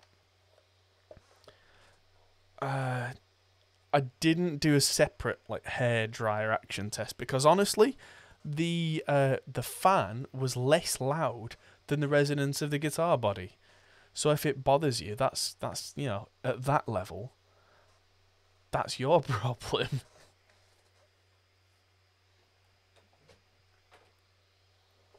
yeah, um, but yeah, um, I was running this 50-50 absolutely blasted with the Mesa, and Mesas are not known for going easy on power amp sections into the Captor X, and it just didn't even break a sweat.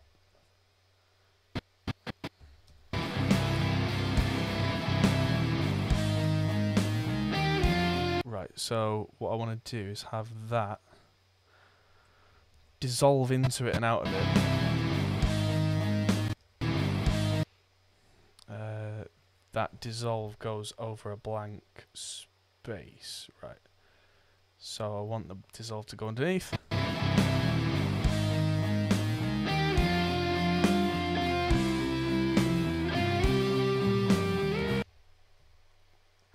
Just put a cut there as a marker. That can share the same grading as... Is it that one? Yep, that one. There we go. Uh, you'll probably see that my video editing style uh, is not too different from my mixing style where it's a little bit scatterbrained but it is in a general order.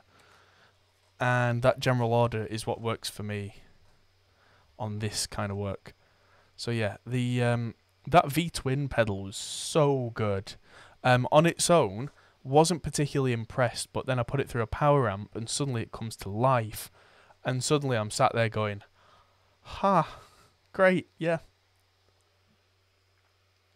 A couple of years ago, I paid 350 quid for that uh, 50-50 stereo power amp there, and now I've just paid 220, I think it was, for the V twin. So for like, how much does a dual rectifier cost new? And I don't even like the new rectifiers, the reborn ones, the three channel ones. I don't like them.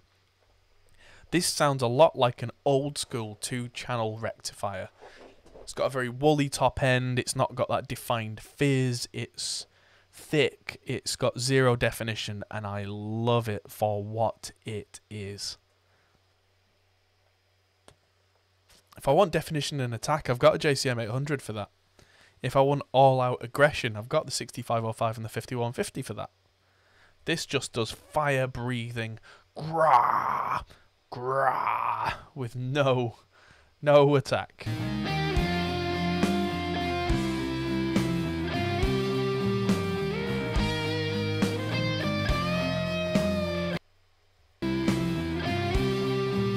Right, so I'm going to do a casual zoom in. Uh, so I'm going to do that and I'm going to move the anchor point to the captor. So I can zoom in a bit and it's going to zoom in on our object of desire. So as I zoom out of this. Whoa too much too much. Uh, so whoa 100 no wonder that's too much in that space of time, that zoom factor is way too high.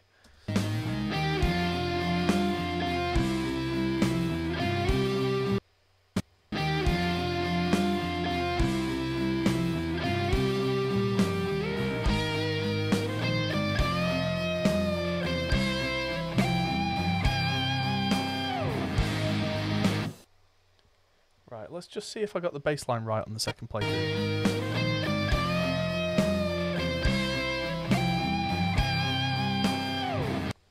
Right, so that's where I want everything to cut. So I think I'm going to have the lead line and the bass there, but over under.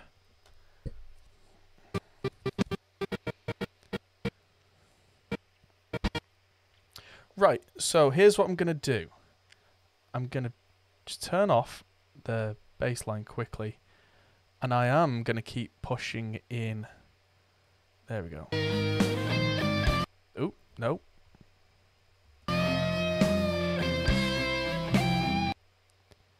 Uh, I'm going to use that point, and that's going to be.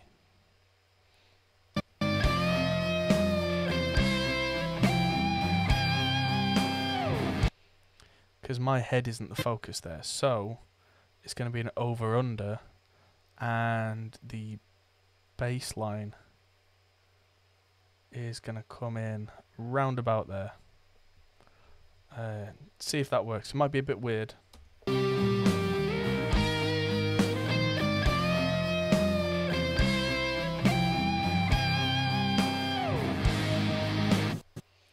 Yeah, there we go.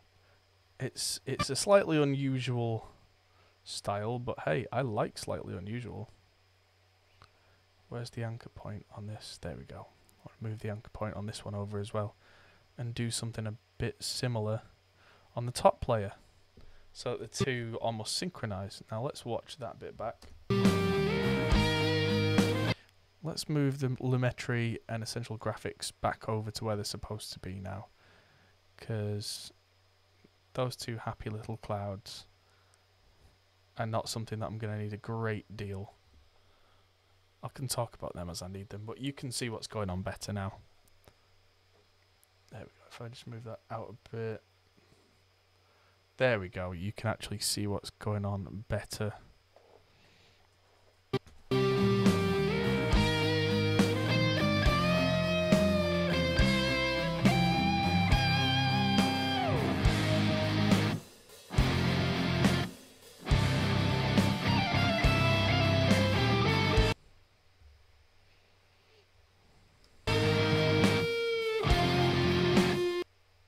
Did I get any shots of the 6505 or the 5150? I don't think I did. I mean, I obviously got the the close-ups of the that, and I purposefully did a little bit of a test to make the poor thing flash red. Uh, da, da, da, da, da, da, da, da, da, da, da. Oh, you can see the PV logo there, so that might be what what I have to make do with. Uh, because I, I do mention in the talking part of the video that it's like I was going to use my 5150, but it broke. Oh well, got a 6505. so it definitely gets a name check.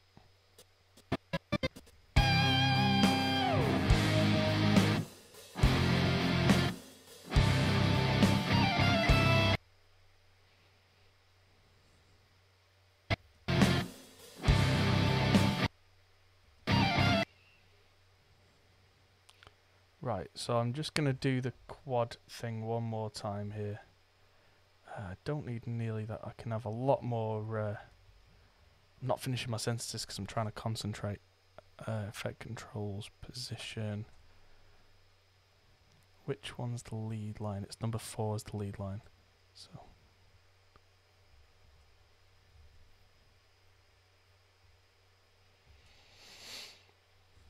I'm just going to delete the lead line out of there and see how quickly this looks right.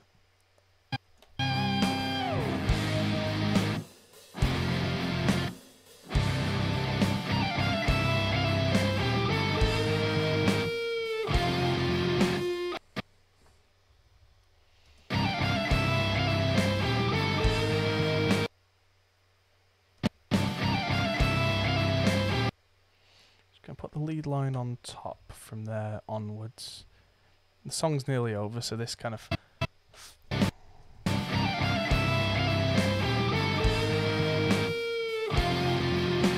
doesn't look very interesting on its own. That's the problem.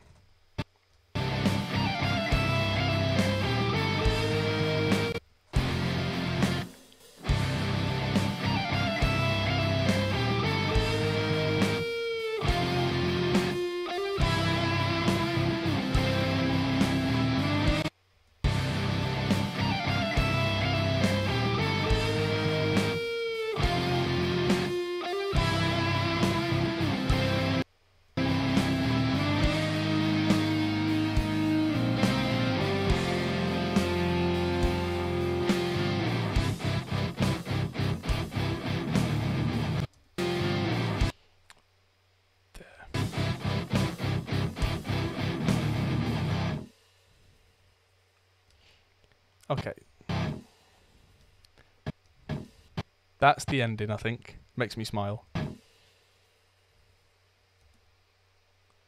So, stanky face from the bass player, and we get a little fade out at the end, and then it'll come back in. I know I've not finished, I know I've not finished, but I like to kind of work backwards once I've, like, now I know I've got a time frame.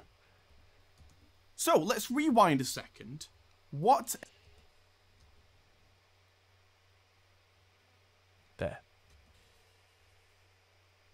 So let's rewind a second.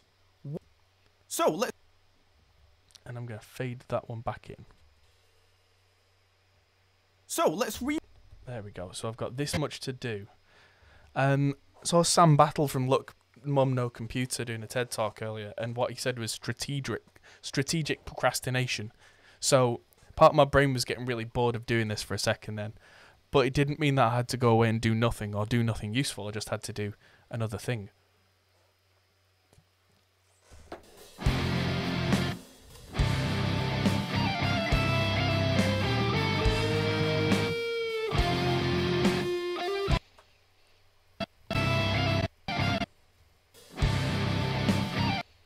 Gonna fade into this.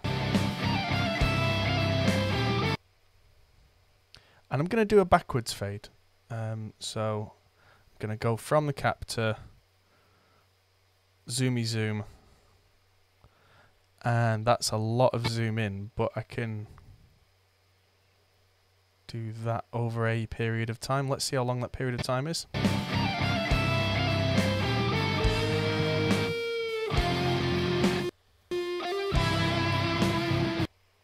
That's probably an appropriate time to fade back into something else. Um, let's fade into another close shot of the captor.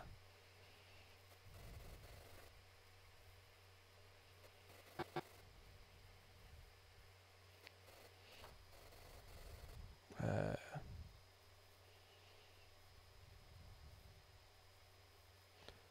that one, the the bass rig. There we go. The bass rig. Uh, so that can go underneath uh, with a little bit of a color grade. There's something else somewhere. That one. Uh, I can just copy the color grade off that because that's consistent then rather than using my eye every time.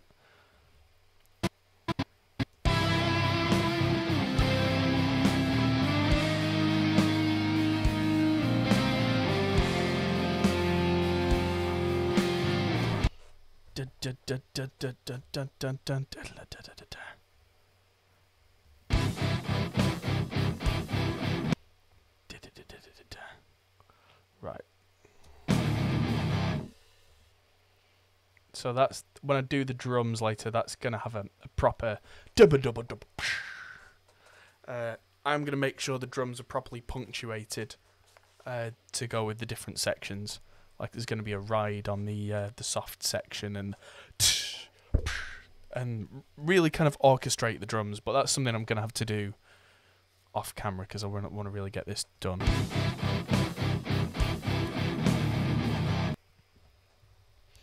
Right, so.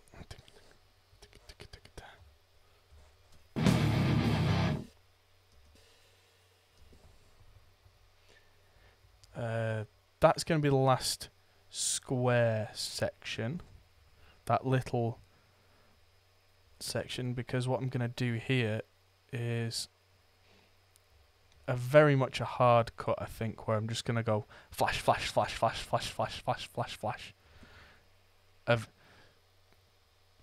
different different sections.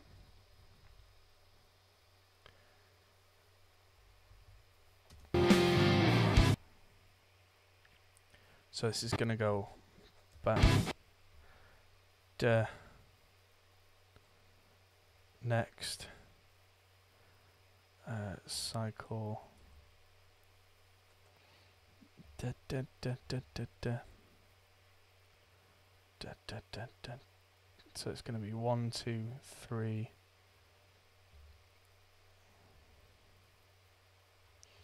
And then just keep pulling these back. So it's going to go. I am going to work on this. This is going to be a bit of a uh, not not great for epilepsy.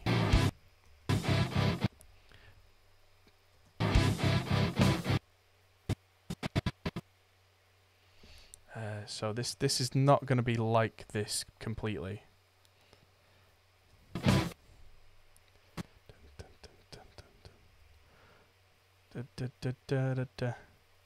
It's something you've got to keep in mind when you do work for TV. Genuinely, that they um, you can have your, your TV program either not aired or like you can get in a lot of trouble. Um, on YouTube, it seems to be less of a problem, but you ever watched a film where there's a flashing sequence and then you've watched the same film on TV and it kind of the sequence is there, but it's really weirdly blurred? That's what happens. Uh, they put things through like a blurring filter so that it passes epilepsy sensitivity tests. And then, there we go. So I'm going to change the position of these now.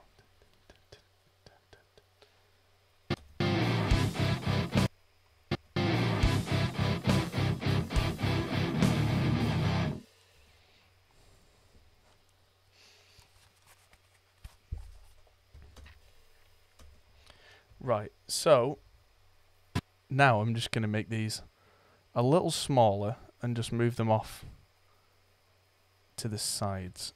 So this can be one, two, three, four, one, two, and then yeah, that's it. That that stank face. That wasn't even intentional. That was just like I like the riff. What can I say? So copy that there and copy that there. You know, when in audio we say, "Oh, you should never copy paste; it's not genuine." In video editing, if you copy and paste, it's uh, what's the word? Um, it's uh, making sure everything's the same continuity. Continuity is important in film.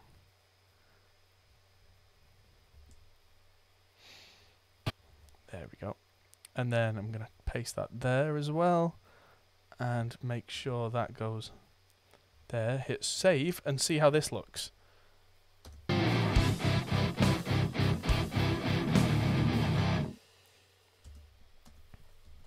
Yeah, there we, there we go. So let's just watch this through now. Uh, oh, there's a big section where I didn't do anything.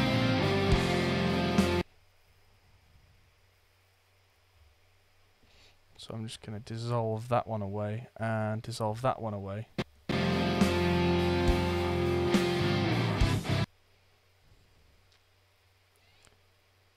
Why, thank you. But um, I'm just going to make these slightly different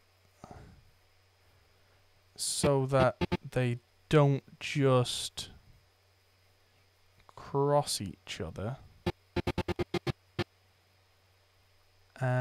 That one can be a little zoomed in from the original as well, but centered. There we go. Let's see how this feels from the top. Save. Give it a stretch. See, th this is how these little demo videos are made. Uh, I have an idea in my head and I run with it.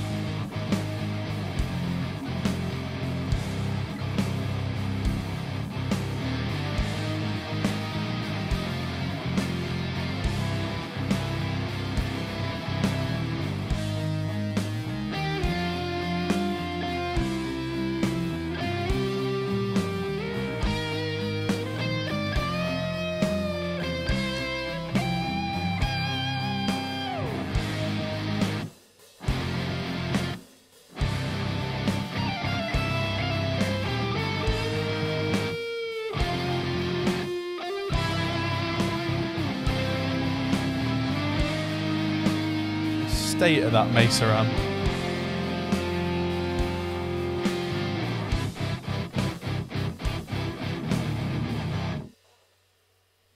Yeah. So, Cool. I'm happy with that. So, there's a massive gap here.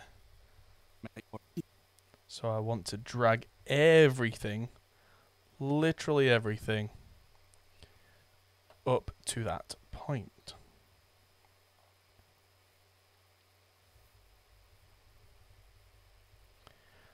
And that's that section of the video done.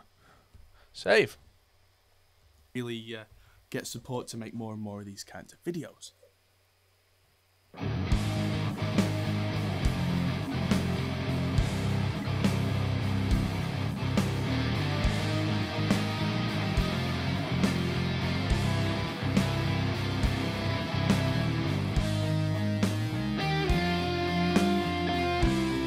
Yeah, we've seen this. Moving on.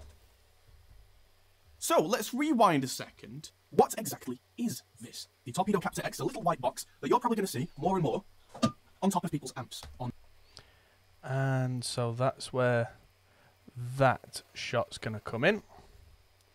So I've talked about it. This is a really good place to put that shot in. And make sure I zoom into it.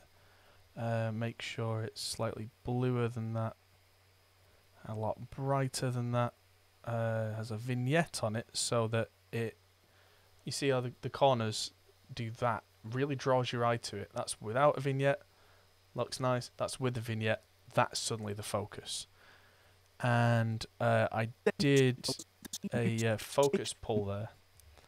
In the studio because it does a lot of And that's quite a long shot. But if I do my thing where I add couple of points and then just make sure those points are at the very start and very end, suddenly you can look at it for a lot longer because it moves. on top of people's amps on stage in the studio because it does a lot of things and it does a lot of things very well. It's all the technology that the company Two Notes have been working on for years and years, pretty much all sandwiched into one little box. And that's where. I must have needed to uh, scratch my nose and cough. The old uh, pause edit. There we go. Get rid of that gap. one little box. So the first and most obvious thing that this Captor X can do is it's a load box. It's rated at 8 ohms, and it can take up to 100 watts out of your guitar amp, which means if you've got something Watching in that's double speed, like just to- 150, and you're absolutely blasting it pretty loud, you can plug a speaker cable straight from that into here instead of your speaker cabinet, and it will just take it, and it'll be able to run silently. from there, you can The other thing with the gaps here is it gives me a little chance to think about what to say. You don't tend to see these in the finished product. Um, I know roughly what I'm going to say, but I'll quite often take a pause, make sure that's in my head, because it's easier than stumbling. and it will just take it and it'll be able to run silently. From there, you can then take a line out from the back here, which is on XLRs. That's a really good place to add in the close shot of the back. That one.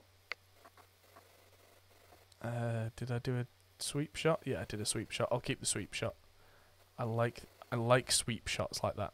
Pans, if you will. So I'm gonna copy that. Uh, copy the grade off the other one because the camera settings were identical. And which can then go if you're playing live to the front of house sound guy who can then have that through the speakers and through the fallback monitors at whatever reasonable volume they need.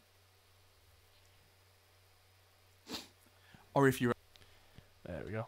Oh, don't worry, I'm always hitting the save button. You'll you'll see the save thing come up far too often. But that's good. Uh, so let's move that under there. need, or if you're at home or in the studio, you can have these XLR outs going to an audio interface or a mixing desk or whatever it is that you need. There we go. There's a lot of gaps in this one. I must have been uh, really tired. Now, the original Captor did this as well. Ah, I was picking that up. You need. Now, the original Captor did this as well, but there's one more thing that they both do, and then the similarities kind of end. These are all There we go. By having these pauses but then cutting the edit, it feels like it's quick, quick, quick, quick. Rarities kind of end. These are also both attenuators. So what you can do is you can plug your really loud guitar head into one of these and then out to a speaker cabinet. And with the original captor, it could take 20 decibels off the volume, which to give you a rough idea is I think about half as loud. It's it's a tenth of the power that goes through. That's how decibels can work. Uh, so it comes out roughly sounding about half as loud. Now the Captor X can do that, but it can also, on a little switch, go even quieter. So it can knock, I think it's 38 dB set off, which with a really loud amp means you're going to get conversational level volume, which means that you can run your favourite amp, have a little bit of volume coming out the speakers so that you can play at home, uh, flick the switch up to the middle position if you're playing live and you don't want to swamp the entire stage out, or if for some reason that's just not loud enough, flick the switch all the way up to full, and that's the full power of your amp then going through. But at the same time, even with the full power of the amp going through on full mode, it's still capturing the sound of your head for the other side of this, and this is what makes it really cool. Right, Switch. So this is what these two have in common. This is the Torpedo Cab M. This is the latest generation of two notes cabinet simulation. So virtual cabinets. What's happening here is obviously you're not using. If you're using this as a load box, then obviously you're not using your real cabinet. At, at that point, you'll want your guitar amp to sound realistic, so that you can get something that you recognise as a sound. Because if you've ever heard a guitar head uh, without a cabinet, it sounds terrible. It sounds like this. Because Did I? Oh yeah, yeah. So I said sounds like this. Uh, that's where this walkthrough video comes in. Because at one point I quickly hit bypass. I'm gonna put this entire 25 minute thing in here. This is gonna be a long video. It's gonna be in a lot of depth. Uh, because yeah, at one point I flipped the camera around entirely.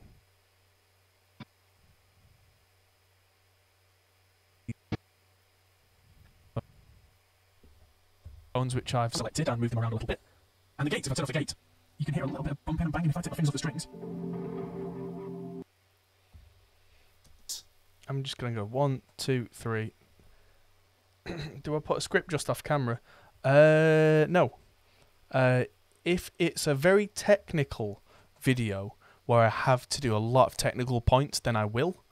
Uh, but I, for videos like this, uh, will take those few seconds. I already know in my head what categories I want to cover, and I would much rather be freeform. I mean, you've seen me do a 3, 6, 12 hour stream. I can be quite stream of consciousness. I can structure things. So I use that to my advantage and spend the time that I would spend scripting on editing the previous three videos. Because the rest of the sound comes from the way the cabinet filters off a lot of that horrible top end, gives you some of this kind of low range thump and clarity and whatever it is that your particular cabinet gives you as a sound quality. Now the Cab M is designed to either run just a preamp, which doesn't have the power section, into it, or run something like a load box, like the Captor, and then run that into here. So that's where the Captor X fuses all of this into one box.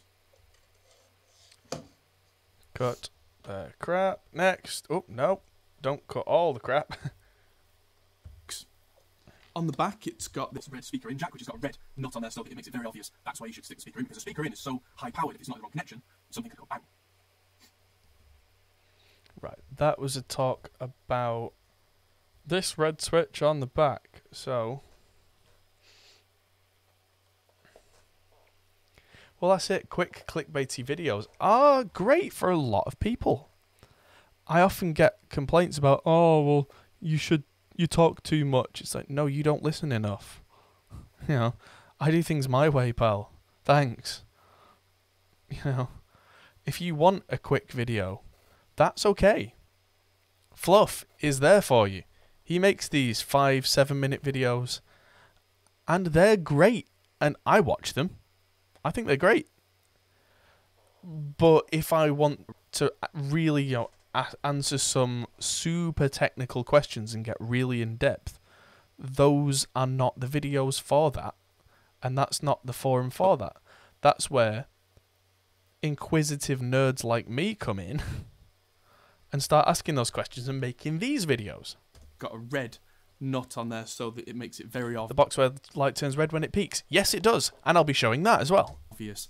That's where you should stick the speaker in because the speaker in is But the peaks, interestingly enough, are not like the load box peaking. It's just kind of uh, if the the line input is too hot, uh, and there is a switch on the front for sensitivity. So yes, so high powered if it's not in the wrong connection, something could go bang. Then there's speaker out, which then goes to the cabinet. Currently, the Captor X is only for 8 ohm loads and 8 ohm cabinets, uh, which is a little bit limiting. Some amps uh, are only 16 ohm, some cabinets are only 16 ohm. Uh, 4 ohm is a lot rarer. Uh, I am told that a 16 ohm version of this is in the works and will be out at some point in the near future. Uh, but most amps can quite happily do 8 ohms. Usually, with a switch or multiple jacks on the back of an amp. Uh, the Marshall JCM 100 over there, I've got, it's got several jacks on the back, so you just pick the correct one. Uh, the PV is uh, switch. So I just pick what's correct. When cough switch.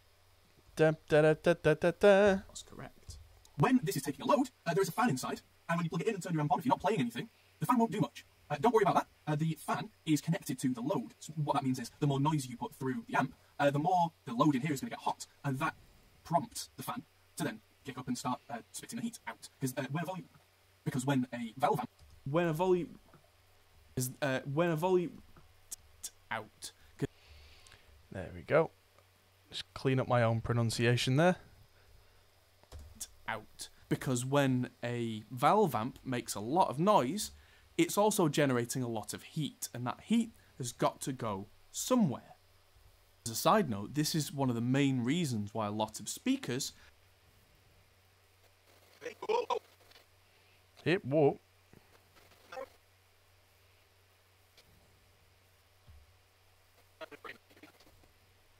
you like heavy stuff, like heavy rock, heavy metal, it can be really quite inspiring on rhythm parts to suddenly have a big 3D chug chug chug chug thing. What am I talking about here? Now I've got this thing plugged in. The 6505 has its volume a little louder than. Oh, did I make this incredibly in depth? Jesus. Have a wattage rating, like the old Greenback's 25 watts. If you put more than 25 watts into one of those speakers for a little while, it, it should be okay in the very short term. But what that's about is it can't get rid of that heat, which means over time it's going to get very hot. And if you've ever heard stories of uh, guitar speakers catching fire and that kind of thing, that's usually from misunderstandings and too much uh, power through speakers that aren't designed for that. To take 100 watts RMS. I was saying, and the Captor was absolutely fine, but if this poor age thing needs attention from So, look at me. I can see 65 Right. So that's not even the end of the video. Jesus. Um. put too much uh, power through speakers that aren't designed for that. So this is designed to take 100 watts RMS load.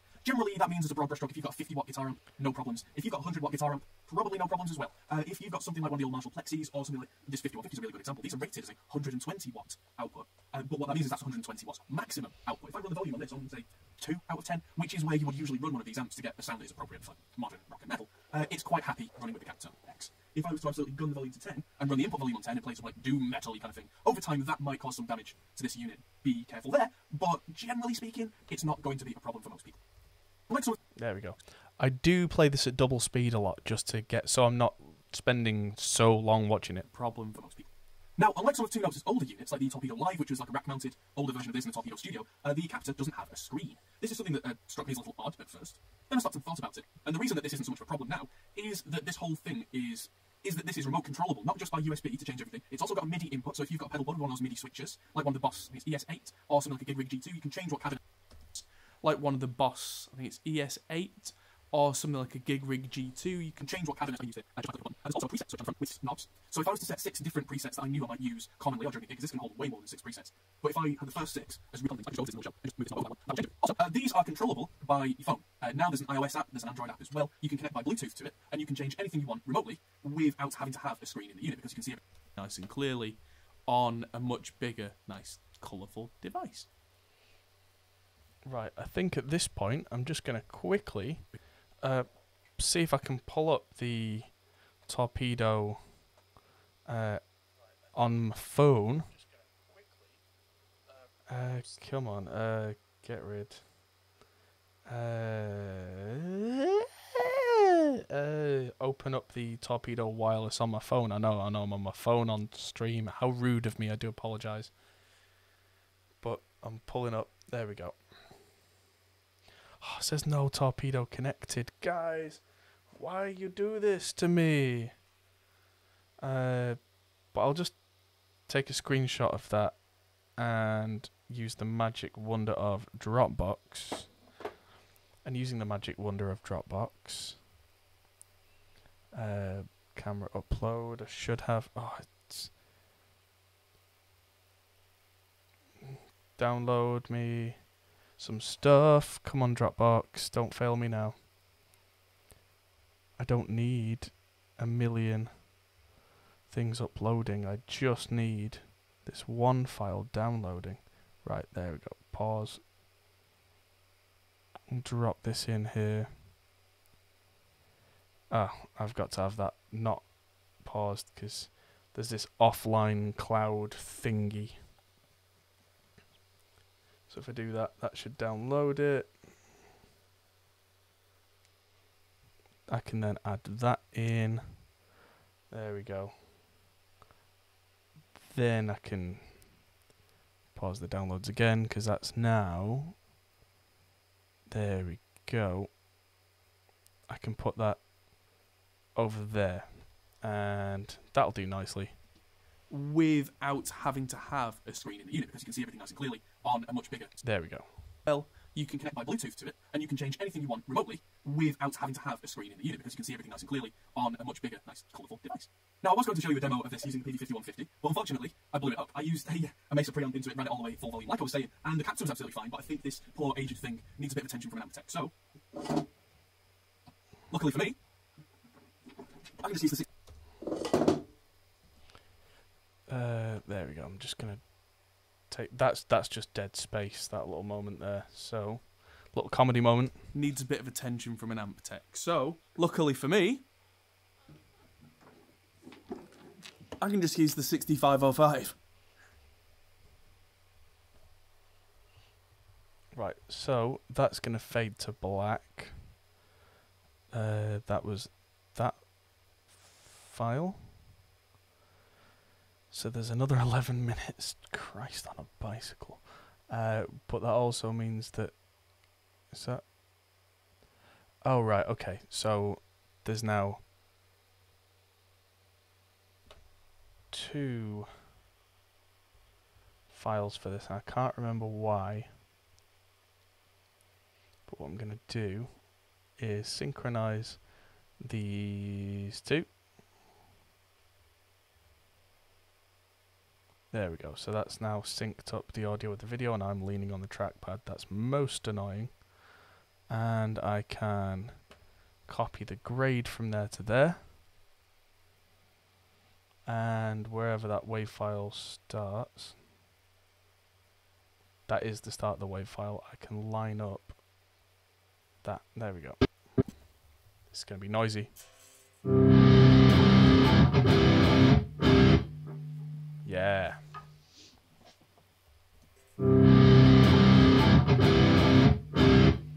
That sounds awesome. But without the shotgun mic on that.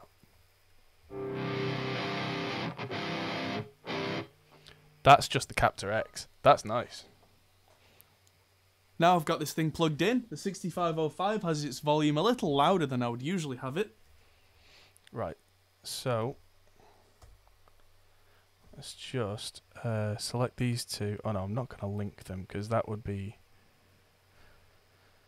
uh, annoying. What's on my audio track mixer? Is there anything on three? No, three's good, so that can just move up. Uh, and this lot can go over here. So this is where the practical demonstration begins. So fade out. 6505. Now I've got So there's a weird breath there that can just go. is the 6505. Now I've got this thing plugged in. The 6505 has its volume a little louder than I would usually have it. Um, I'm gonna try playing this at full volume just for a second. So that's with no microphones on the cab. This is probably gonna clip the hell out of this mic. And as you can see, it did. I'm going to turn this down by about 20 dB and hope that's enough. And cause a lot of feedback.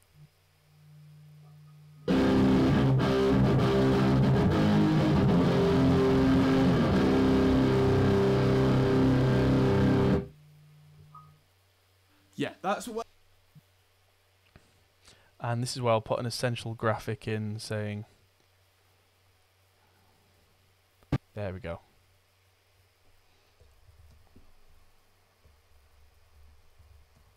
This is the other thing about essential graphics is you notice as I type, the entire graphic gets loud larger.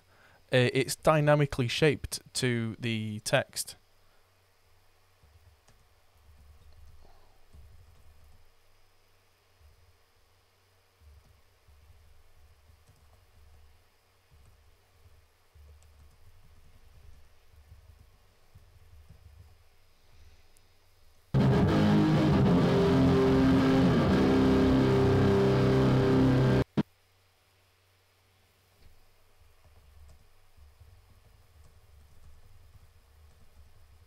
There we go.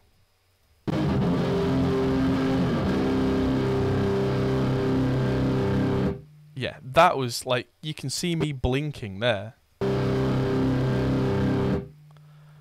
Yeah, that Yeah, amp that- was so genuinely brain achingly loud. That's way too loud, and that's way too loud for most stages, but it sounds great. So if I step that down to 20 dB attenuation, this is still going to be loud.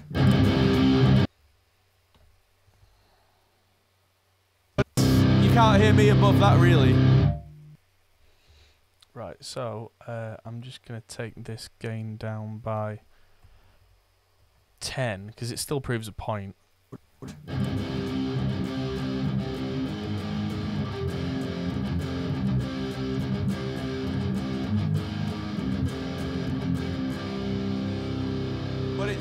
Can't hear me above that, really. I said you can't hear me above that, really, because it's blasting. No. Uh, I'm going to copy that graphic that I made over here and just. Uh,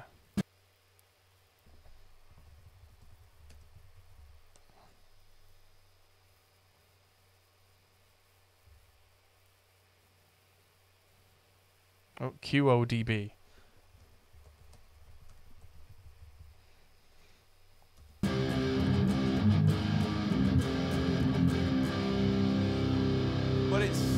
Can't hear me above that, really. That does sound beautiful. I said you can't hear me above that, really, because it's blasting. Now, depending on what I want to do, if I go for the lowest attenuation, which is minus 38, that.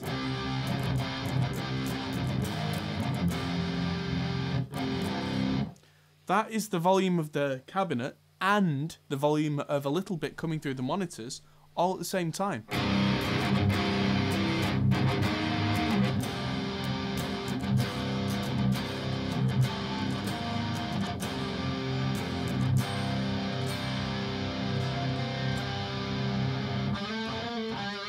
See, I can I can talk over that, and you can probably make me out over that if I speak up a bit. But turn off these entirely, so it's just the cabinet. You can definitely hear me over that. So I can have just a little bit of volume coming through the cabinet. Maybe I might start doing this in the live room actually, because then I can have a guitarist sat next to the cabinet. They get a little bit of sound.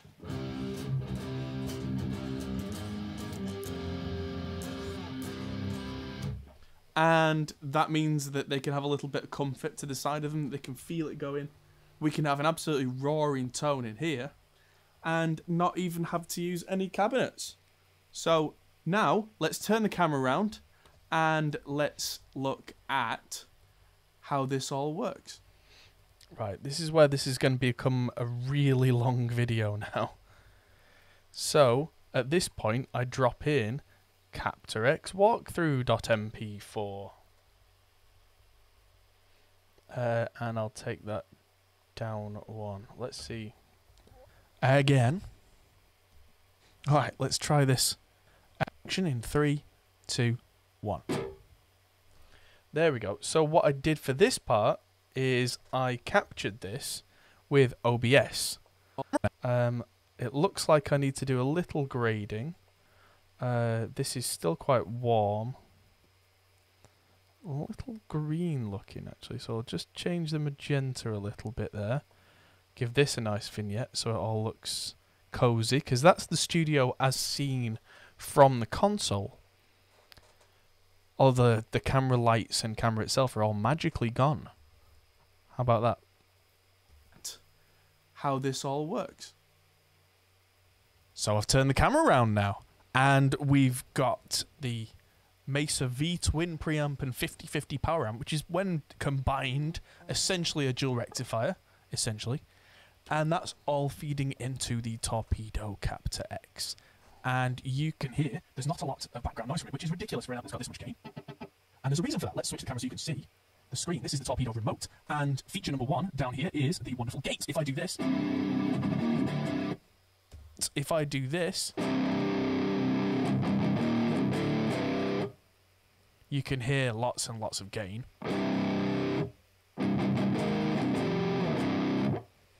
And there's nothing on right now apart from the cabinet, obviously, and two microphones which I've selected and moved them around a little bit. And the gate, if I turn off the gate, you can hear a little bit of bumping and banging if I take my fingers off the strings. You get a lot of noise if I turn on the gate and adjust the threshold from noise to not noise. I can really tighten that up. And if I go for the hard gate, which is very metal gate, it's got real tight open and close. Definitely comes into play when you're using like a tube screamer in front of a heavy amp and you've got so many gain stages, it can get a bit crazy. But then of course you've got your microphones. If I bypass those, this is how it sounds with no cabinet. Horrible. Right, that's what I wanted. I'm just going to copy that and move back over. There's a little blank space somewhere where I said, this is how it sounds without an amp. There we go, yeah. So I don't need that much. I can just prove the point there.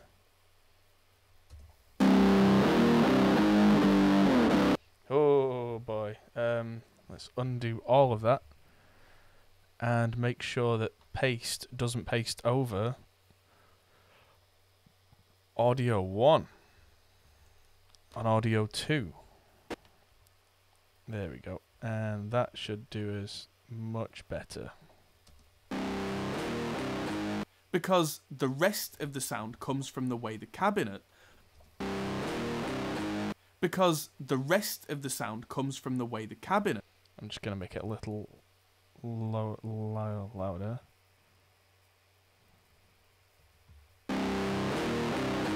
Because next gen the- Captor Y will have the, the the reload integrated.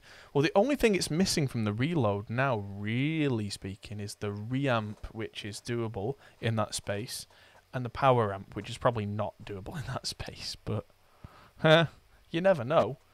I mean, as power amps get more efficient and smaller, meh. Horrible. But what I can do instead is just mute one of these and just have one microphone. And do it the other way around as well. You always get a choice of eight microphones. That's different depending on which cab you buy. Uh, there are loads you can get, including, of course, my own shameless plug. This cabinet is exactly the one you will have seen next to me right here. Coincidence? I think not. and from here, we can start looking at some of these really cool features. Ever the Uh, if there's only one guitarist, but Steal. it sounds so huge, this is where the twin tracker comes in, because I can go from this to this.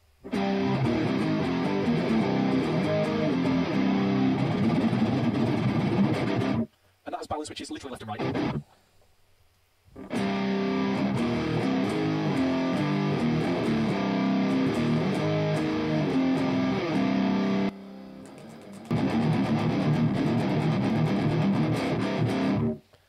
And that has balance which is literally left and right. So if you're running uh, a rig through two uh, two different output devices, you can change the, the volume relation there, uh, which might be really useful if you're running this into like a, a secondary amp or something crazy like that. You don't want it to come out quite as loud, quite loud. The tightness control there looks like it changes things from just a little bit of delay on that right hand side, so it's almost mono but not quite. All the way around the other side, there's a big delay. Which sounds really, really loose, but sounds about a mile wide. Personally, I prefer the tightness over on this kind of 30, 20, 30% things again. Of course, in the studio, if you have the option of recording a left channel and a right channel, you very definitely can. But quite often, either the twin track is a really cool effect you can use, or um, what it does is it actually delays the right hand side. So if you decide later on that you don't want the uh, effect uh, at all, then you change your mind, you can just change the input for that guitar that you recorded to be the left channel, and hey presto, back to being a mono guitar. So I'm going to turn this off for a second. I mean, I've gone for a heavy sound here, but if I wanted to, I can go something a little cleaner.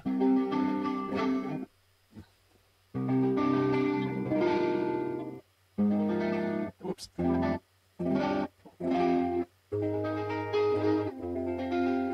Yes, this is actually what the clean sound sounds like on an old Recto.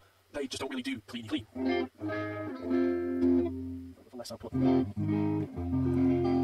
So I actually quite like personally. But uh, that's a thing for another day. Uh, now we can start looking at some cool new features. The EQ is exactly what it says. On guitar mode, the frequencies are directed to be uh, appropriate for metals. Let's just get rid of that little uh, phone check. Directed to be.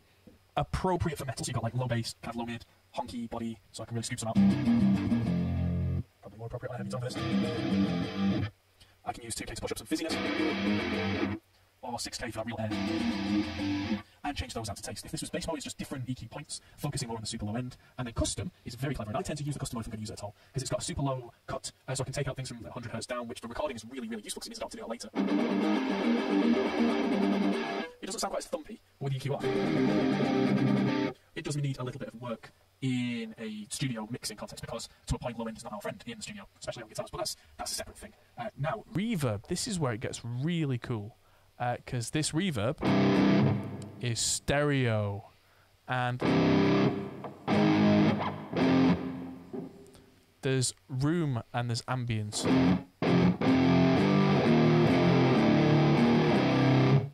so the room you can hear in stereo is very much a short, early reflections type of reverb, which really is designed not to be a noticeable reverb, but to sit you in a space. So with this on, there's a dry wet, of course, and if I reach over, uh, I can change the space knob.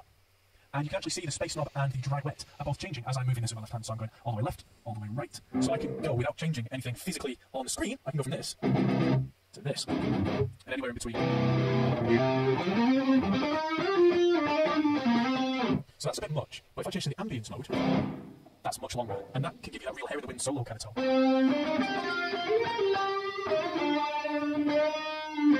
tone. So you can change the size of the, that reverb to be a little smaller. The echo is a different parameter entirely, which is more to do with echo time. Uh, colour is to do with diffusion, I think. So you can make it more like that reverb again, or really kind of expand it out a bit. And then with this, what it says, you can have a mono reverb so it doesn't stand out. I mean, here's an interesting thing while I'm talking about the stereo-ness on this. This is technically a stereo unit, this load box, because it has the twin tracker and it has the stereo reverb, but it does only accept a mono input. It's designed to run with one amp, because it's only got one load, one load box. Uh, but for what these cost, I mean, these cost about half as much as something like an Ox box or a, a Waza expander, so you can actually, if you really want to run two amps, just buy two of these. And yeah, that's a lot of money at that point, but if that's what you really want to do, is you really want stereo valve sound. Hey, you know. Epic. So if I back that back off, I do. Uh, I did not test the uh, MIDI DIN to jack, but it comes. It does come with it. It comes with yeah. It's a MIDI DIN to jack, so it's got a really tiny little jack thing. A lot of the new Boss pedals have the same thing, which is great because that means that that converter is going to be really common. So if you lose it or break it, it's not going to be expensive to buy another one. Um, no, I didn't test that, but I have tested the MIDI on previous two notes units, and it does what it says. It, you put in a program change or a CC change, and it, it changes. There's not really a lot to talk about there. It just does what it's told. Uh, which, if you've got, although I mentioned it in the the video, so I've, I've at least covered it. Do like to have some room reverb in my guitar tones, but just a small amount. And the EQ, let's leave that flat. I can always tweak that. But the enhancer is where it gets really cool for me. Uh, so I'm going to start with this all the way dry and bring some of this stuff in. In fact, I'm going to leave these at the bottom because this is designed to be a parallel process. This is where it gets really clever. So the enhancer used to be low and high, and I personally never really liked it. Um, I'm guessing anyone who's used two note stuff before that may not have been their experience. They may have liked it, but uh, the new uh, body thickness and brilliance absolutely sell it for me. So thickness is not the same as just bumping up a low on the EQ. Listen to this. So this is already quite a thick tone. If I pull up the thickness, say 50%, that's overkill. But listen. It does a certain thing, a certain thing. It does a certain thing that's rather dynamic, and the low end kind of thump, thump, thumps. So what I could do, have the thickness. Think this is off for a second, and listen to this. And so if I bring in the thickness, it's got a little too much on the low end. I'll turn on the EQ and shelve out some of this ultra low. So suddenly it's gone from this, which is nice, to this, which for me really has a noticeable chunk, chunk, chunk kind of thing. I mean, not everybody's going to be using this for metal and rock, I know, but you can also use this on any kind of tone to get that kind of real lively thumpy thumpness in your tone without being overbearing on the ultra low end. And the next thing is brilliance. And again, this is a clever parallel process where this is going to add high end, and I'm going to strike a chord and bring up the brilliance. And without. And with again. So that's given me suddenly all that sharp, kind of thick clarity, uh, which isn't the same as just bumping up a specific EQ point. And when you double track it with uh, the thickness and the brilliance in the right proportions, it can really bring a guitar tone to life without any nastiness. And you do still have with the custom EQ scope to change all this as well. So if I, I can hear a specific kind of resonance. I'm just gonna put a little marker here because I've just had a thought. Um, I did really like the grade that I put on, but there we go. From there on, it looks a bit odd being on everything. So what I should probably do is have a mask over it, making sure that the uh, lumetri, which is the uh, color grading, is only over me uh, from when it switches. And doesn't make the whole screen really weirdly blue. Which is uh, something that I would have probably caught at the QC stage but you don't even want to get there you know. So there we go um, that marker that I put in means I can get back to where I was in this really long thing and carry on Dual rectifiers do around 600 ish. Let's just find it. Yeah, that honk honk honk thing. Let's just take a few dB out there, not 7 dB. That's way too much. But 4. That sounds really nice, but a little bright, so I can just back some brilliance off now.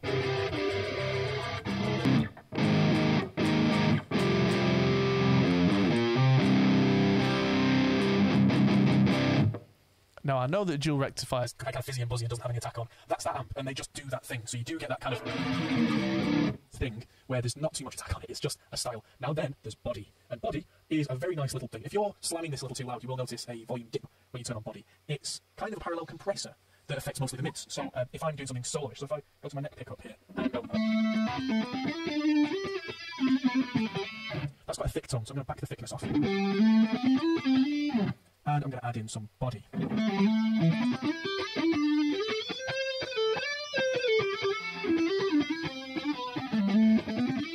going to switch to the bridge pickup again, because I quite often find a bridge pickup to be a little shrill on a solo.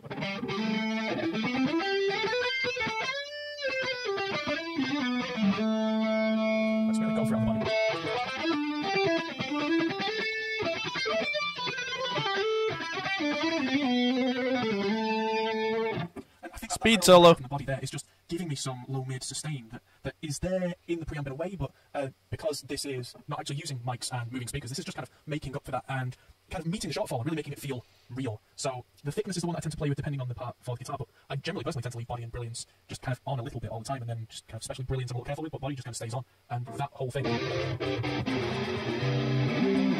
just works for me. I didn't actually mention earlier that the IR loader is in here as well. You can load up two of your favourite impulse responses if for whatever reason the inbuilt cabs, of which there are many, many, many, many, there are a whole host of 2x12s, 4x12s, open backs, closed backs, bass cabs. There's all sorts of stuff in there that you can either, uh, that either comes with it or that you can just buy as a little add-on. Uh, but if none of them are doing it for you and you've got specific impulse responses that you like, you can load those in. And so you can play with user IRs. I don't think I've got many on here right now, but there's a Sir one, a Zilla Fat Boy.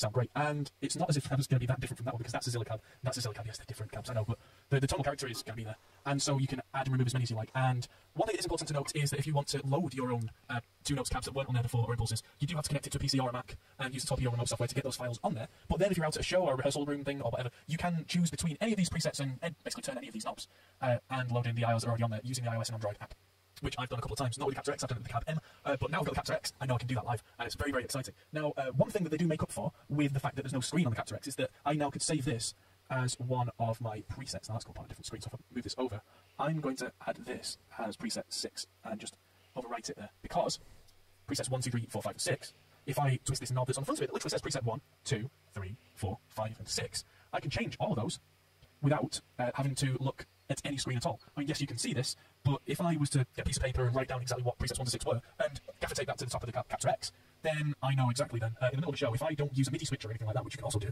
uh, then I can just go to the knob and go, click. Okay, for this song, I'm using a 2x12 open back with this, and for this song, I'm using a 4x12, uh, for this song, I'm using a 1x12, but, you know, uh, one of these two microphones could be in the back of the cabinet, and, you know, there's, there's so much potential and chances are, I mean, if you're using this without a MIDI switcher live, you're probably not going to use more than six presets. Because, again, the, the amount of brain power you have live, you're probably focusing on the playing and maybe what pedals are on, that kind of thing, more than you are choosing this cab, that cab, this cab. Uh, but if you want to have, like, I don't know, um, if you've got an amp and a board that's got MIDI on, you could have any preset, not just these six. So you could have this tone goes to this, this tone goes to that, and then that's probably the way I would do it if I was more of a live guitar player. I'm more of a live bass player personally, so this is a little weird for me. Uh, but uh, it means that you could then plan that all out in advance, and when you press a single button on your MIDI switcher, that changes everything, including the exact sound on here. So you can do some very clever stuff in advance with preparation, and do even more clever stuff in the show. One more really cool thing that I'm going to talk about for a minute is this is some of the files from that. Just gonna get rid of that. Oh, Yes, yes. So that should be coming out 21,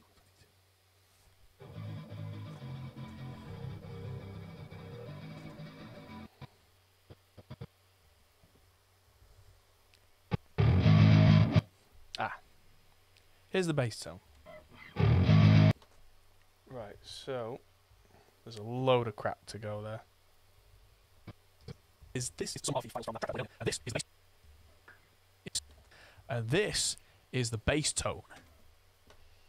Right, so that was all tech issues of me trying desperately to get that to work. Uh, for whatever reason, it wasn't coming through OBS. So that's deleted three minutes out. That's good. Oh.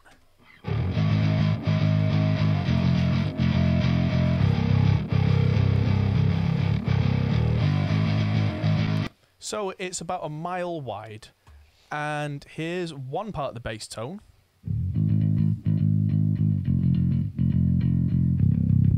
Which is uh, the two notes Le Bass on the, its clean channel uh, going into the two notes cab M with a big 8x10 snap, typical clean bass tone, and then I actually fed the through output of that into that dirty nasty, that's the Mesa V Twin, uh, with uh, kind of a bass friendly setting on it, and then that's going into the Torpedo Captor X with the Twin tracker on, and with the EQ, so it still had everything set up uh, as if it was a guitar amp, but the EQ, uh, what I did is I was on custom mode like this, but I had the low end really scooped out here, and the Twin tracker, like I said, was on, and so it was like uh, running that through a guitar, but all the low end is cleaned out. And combining that with the thick lows that are in mono in the middle, that is a really thick tone uh, for bass, and that's going to sit quite nicely underneath these really busy rhythm guitars.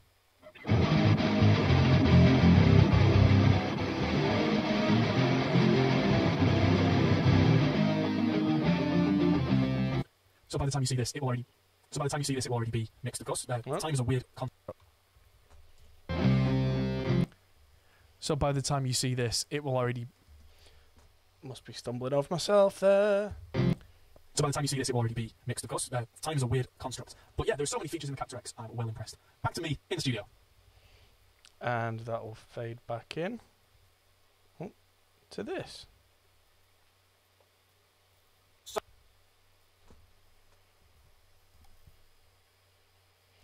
Don't need quite that long of me gurning like an idiot.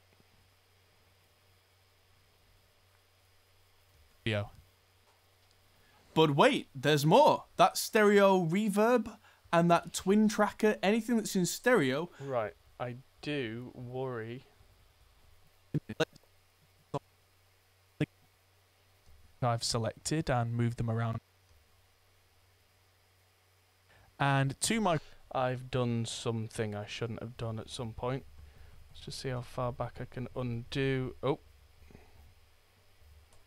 That's what it was. Uh, whatever this selection is, I need to clear the selection.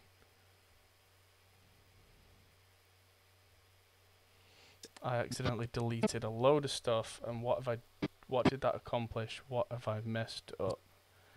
Ah, oh, Steel. Why? What did you do? How far back do I have to go? Save. I hate the selection marker there. It can really mess your day up.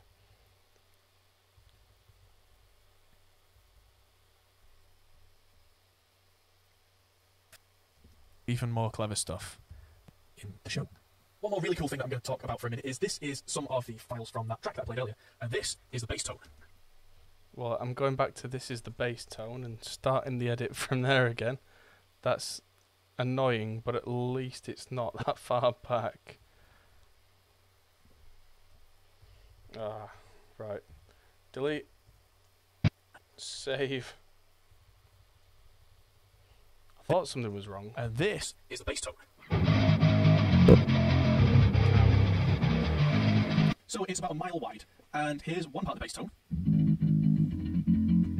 which is the two notes lace on its channel. Uh, the Studios Cab M with an 8 by 10 snap typical clean bass tone, and then I just fed the throat into that does that's basically twin uh, with uh, kind of bass friendly setting, and then that's it's the twin tracker on, and with EQ, so it still had everything set up uh, as if it was a guitar amp, but EQ, uh, I did is I was custom on this, but I had the line really scooped out here, and the twin tracker on, and so it's like uh, when that guitar on the line is cleaned out. And combine that with thick lows there in the middle. That is a really thick tone for bass, and that's going to sit quite nicely underneath these really busy mini guitars.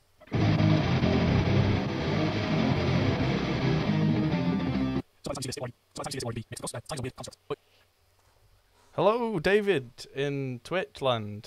So by the time you see this, it will already. So by the time you see this, it will. It's a weird construct. But yeah, there's so many features in the Captor X. I'm well impressed. Back to me in the studio. In the studio. Save, save, save. Every egg bird. Uh, automatic. Automatic.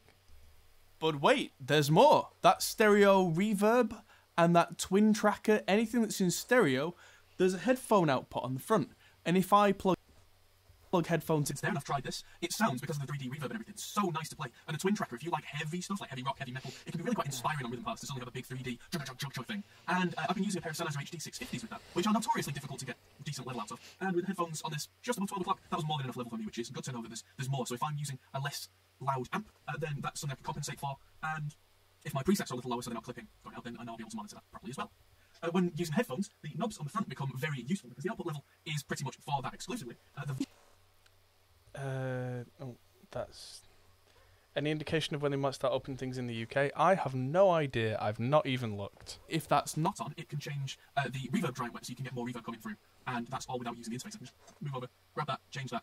And the space and voicing knobs have a nice little center click so that. And the voicing knob, especially, has a nice little click in the center. Oh, that. And the space and voicing knobs, that was a mistake on my part, which you will never see again. change that. And the voicing knob, especially, has a nice little click in the center so that I can feel where it's supposed to be when I'm not trying to use my personal preference. So this thing can do a lot. Personal preference. So this thing can do a lot, but the last thing I think we should talk about here is the price. So in the UK right now, these are £549, which isn't particularly cheap.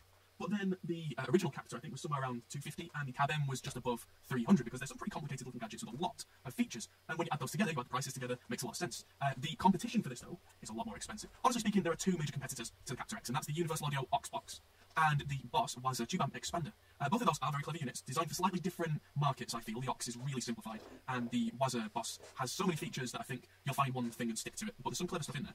And those are both well over a thousand pounds, so they cost twice as much. That's a big jump, considering what this is and what this can do. Uh, I mean, if you've got two valve amps, you can buy two of these for the same price, and you could run them in complete stereo for the same price, or save you money and just get the one. And I think that's a really, really good price point to be at. It's not cheap, but it's costed at that point, I think, so that it's got components in so you can feel safe running your valve amp loudly into it, and also get that really, really good cab tone out of it. Uh, because they could have cheaped out in several places, and I'm really quite glad they didn't, because I've always been wary of things like cheap load boxes, because they can potentially damage your amp. Um, old resistive load boxes, where they're basically just a big fat resistor in a box, uh, those tend to sound really sterile and static and flat because they're not reacting with the amp backwards and forwards like the speaker does, which is where the reactive load comes from. There are all these little details that, when they add up, they make for a fantastic piece of gear. Just so you're aware, complete transparency, uh, I've not been paid to make this video by Two Notes. Uh, they've sent me this Yeah, you think I should put this video out at, at this speed and watch everybody moan? Uh, thank you to, to Al in, in the chat for that that super chat. Every every piece of help there is massively appreciated. for review. and it's probably going to have to go back at some point, which is a shame, uh, because I would really, really like it. But then I do already have the Captor 8 and the Cab M, uh, which apart from the twin tracker featuring extra attenuation and a few really nice features, uh, I already have most of it, which, yeah, is, uh, you know, it would be really nice to have it all in one box. But I do make guitar cabinets for the Two Note store. I'm one of the capture masters. So this, this is Zilla right here. If you want the sound of this, that's the one that was on screen, the Big Beast, which is a Zilla 412 with vintage 30s. There are loads of other cabs on there as well. Check those out if you get Wall of Sound, which is their software offering, or if you get uh, Torpedo Captor X or Cab M or any of the hardware that they do, we sell loads of cabinets that you can buy there for that extra, extra little bit of awesomeness on your sound. Thanks for watching, everybody. I hope you really enjoyed this. I certainly did. This is a serious piece of gear, and I'm looking forward to getting more out of it. You'll probably see it of the live streams as well, Yep. because we do quite a lot of live streaming. at Ah, blah blah blah blah. blah. That's just a rendering error. and I'm looking forward to getting more out of it. You'll probably see it in some of the live streams as well because we do quite a lot of live streaming at the moment, and we're doing a lot more in the future, a lot more uh, live in the studio. Uh, we're going to be doing more uh, live mixing where I'm at home with the whole COVID-19 lockdown thing. I've been doing a lot of that from my home little office studio, and I'll probably do more of that because that's been really successful. There's also a Discord uh, where you can chat with us. There's the Patreon where you can support us. Uh, subscribe and hit the like button to the video if you haven't already, and thank you everybody, and I'll see you in the next video. Goodbye. And that's the end. Thank Flip for that. And something that Premiere can do now that it couldn't do up until very recently is I can open two projects at once. And so what I'm going to do is open up a different project which I know hairy asshole um, that I've got this brand new Patreon thing and since since I made oh made this there haven't been any more patrons uh, added on because I only made that a couple of days ago. Hey everyone, that might be the end of the video, but if you fancy carrying on this conversation, we have a Discord server, link is in the description. We're also on Patreon, which is something you can really help us with. We also are on Facebook, Instagram, and Twitter at Hop Pole Studios. See you there. There we go, because that plays everybody's Patreon stuff for the last 20 seconds. Uh, one thing I noticed is Channel 3, which uh, hopefully Channel 3 has got nothing useful on. well, David, if you get to a point where uh, you can support the channel, I mean that's very much appreciated. But if you can't, that's okay as well. I said that before. It's it's it is what it is. Now I know that dual rectifier's kind of fizzy and buzzy and doesn't have any attack on. That's that. There we go. So I just added a de-esser to all of that live footage because in these headphones it was really standing out. And I might go back and add a de-esser in this bit as well. It's on the same channel, so in this instance it's taken care of. Hey everyone, that might be the end of the video, but if you fancy carrying on this conversation, we have a Discord server, link is in the description. We're also on Patreon, which is something you can really help us with. We also are on Facebook, Instagram, and Twitter at Hop Pole Studios. See you there. There we go. So Attenuators. So what you can do is you can build real life into one of these, and then out to speaker, and with the original Captor, it could take 20 decibels off the volume, which is uh, where's the bit where I talk about 65 of? Tone cabinet, uh, which is a little bit limited. Some amps are only 60 ohm, some cabinets are only 60 ohm. Uh, 4 ohms a lot better. Uh, I'm told that a 60 ohm version of this works will be out at some point in the future. Uh, but most amps in fact will do it on zero a switch or multiple jacks on the back of them. Uh, the Logic 600 got several jacks on the back. Two speaker one. Uh, the video switch. switch switch. When this is taken load, there's a fan inside, and we plug it into a multi play anything. The fan will do much. Uh, don't worry about that. The fan is connected to the load. So what that means is the more noise you put through the amp, uh, the more the load is to get hot, and that prompts the fan to then kick up and start uh, to heat out. Because when a valve makes a lot of noise, it's also generating a lot of heat, and heat has got to go somewhere. Just as a side note, this is one of the main reasons why a lot of speakers have a wattage rating, like uh, the old Greenbacks 25 watts. If people want heat, which is times get very hot, and if you have stories of uh, misunderstandings and put too much uh, power through speakers that aren't designed for that. So this is designed to take 100 watts RMS load. Generally, that means the workshop, you've got 50 watt guitar, no problems. If 100 watt guitar amp, probably no problems as well. Uh, if you've got something like one of the old Marshall Plexis or Right, so that's a good place to put in. Uh, go back to the project. There was one of these. It might be this one. No, next one, previous one. oh, excuse me. Don't die on stream. It's not very professional. There. So, there we go.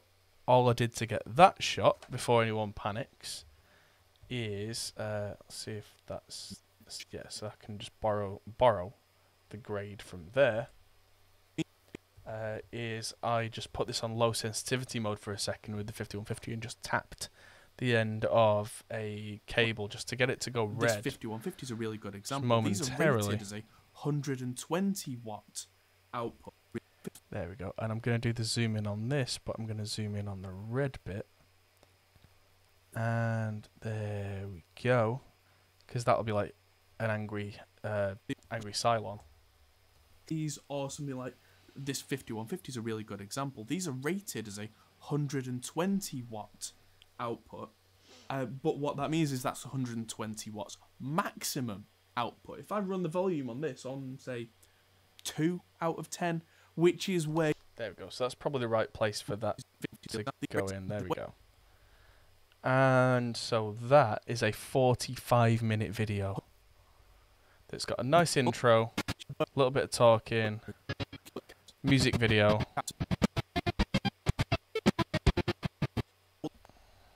Then all the meat and bones. That is gonna be cool. So don't need the other project open now. But that is just about a perfect place at the end of a three hour stream to leave it because all I've got left to do is like I said tomorrow, just play with the drums until they fit and then are played appropriately. Uh, re-render that, drop that in, and I think that might actually be it. There was something else I said about. Oh no, yeah, uh, listen to it on proper monitoring to make sure the mix is right. And that's it. Hello, ladies. Hello, Mr. Cool Things. Good to see you. Um, yeah, might seem a little weird, but I'm just finishing up editing the next video to go out, which is about the new Two Notes Captor X. Ladies and gentlemen, Adam Steel from Hop Pole Studios. Today, I'm really excited because I'm going to show you a magic trick. You ready? I'm going to combine this load box with this professional digital cabinet simulator. Ready? Here we go. Say abracadabra. Boom. Wow. So there we go. Uh, that's turned this into the Two Notes Engineering Captor X.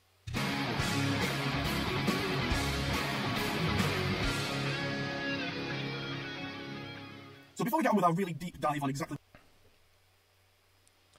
Right. So yeah, the other thing I can add is background music, but again, I'm gonna add a little bit of light background music at the right places and not through the whole not through the technical part of the video or any parts where there's guitar playing, just parts where it's just me talking. And yeah, that is probably a very good place to end the stream for today. So, yes, for everybody watching, big news. Tomorrow, tune in to the channel, 8 p.m. UK time. Glenn Fricker from Spectre Sound Studios is going to be our guest star on the Hop Pole Position podcast, and I am so excited. It's massive news, and I am so so excited. It's going to be a great evening. It's going to be a lot of fun, and there's probably going to be a lot of swearing, but never mind. Um, so yeah, hide your kids, hide your wife, and yeah, uh, very much looking forward to to my friend, and I'm very lucky to be able to call Glenn my friend, uh, being on this podcast tomorrow. So yeah, tune in 8 p.m. Hop Pole Position. It's gonna be, yeah, keep the beep at the ready. You know what? We might just go for a mature stream and say beep it. You know, I'd be right. so thank you everybody. I'm gonna go and get some rest and try and prepare mentally for tomorrow because it's gonna be a big one. Thanks everybody. See you soon. Thanks for watching guys. If you enjoyed this, feel free to check out our other videos as you can find here, or check out our Facebook and Twitter, or our Patreon page which helps us to make more videos like this. Thanks for watching and we'll see you in the next video.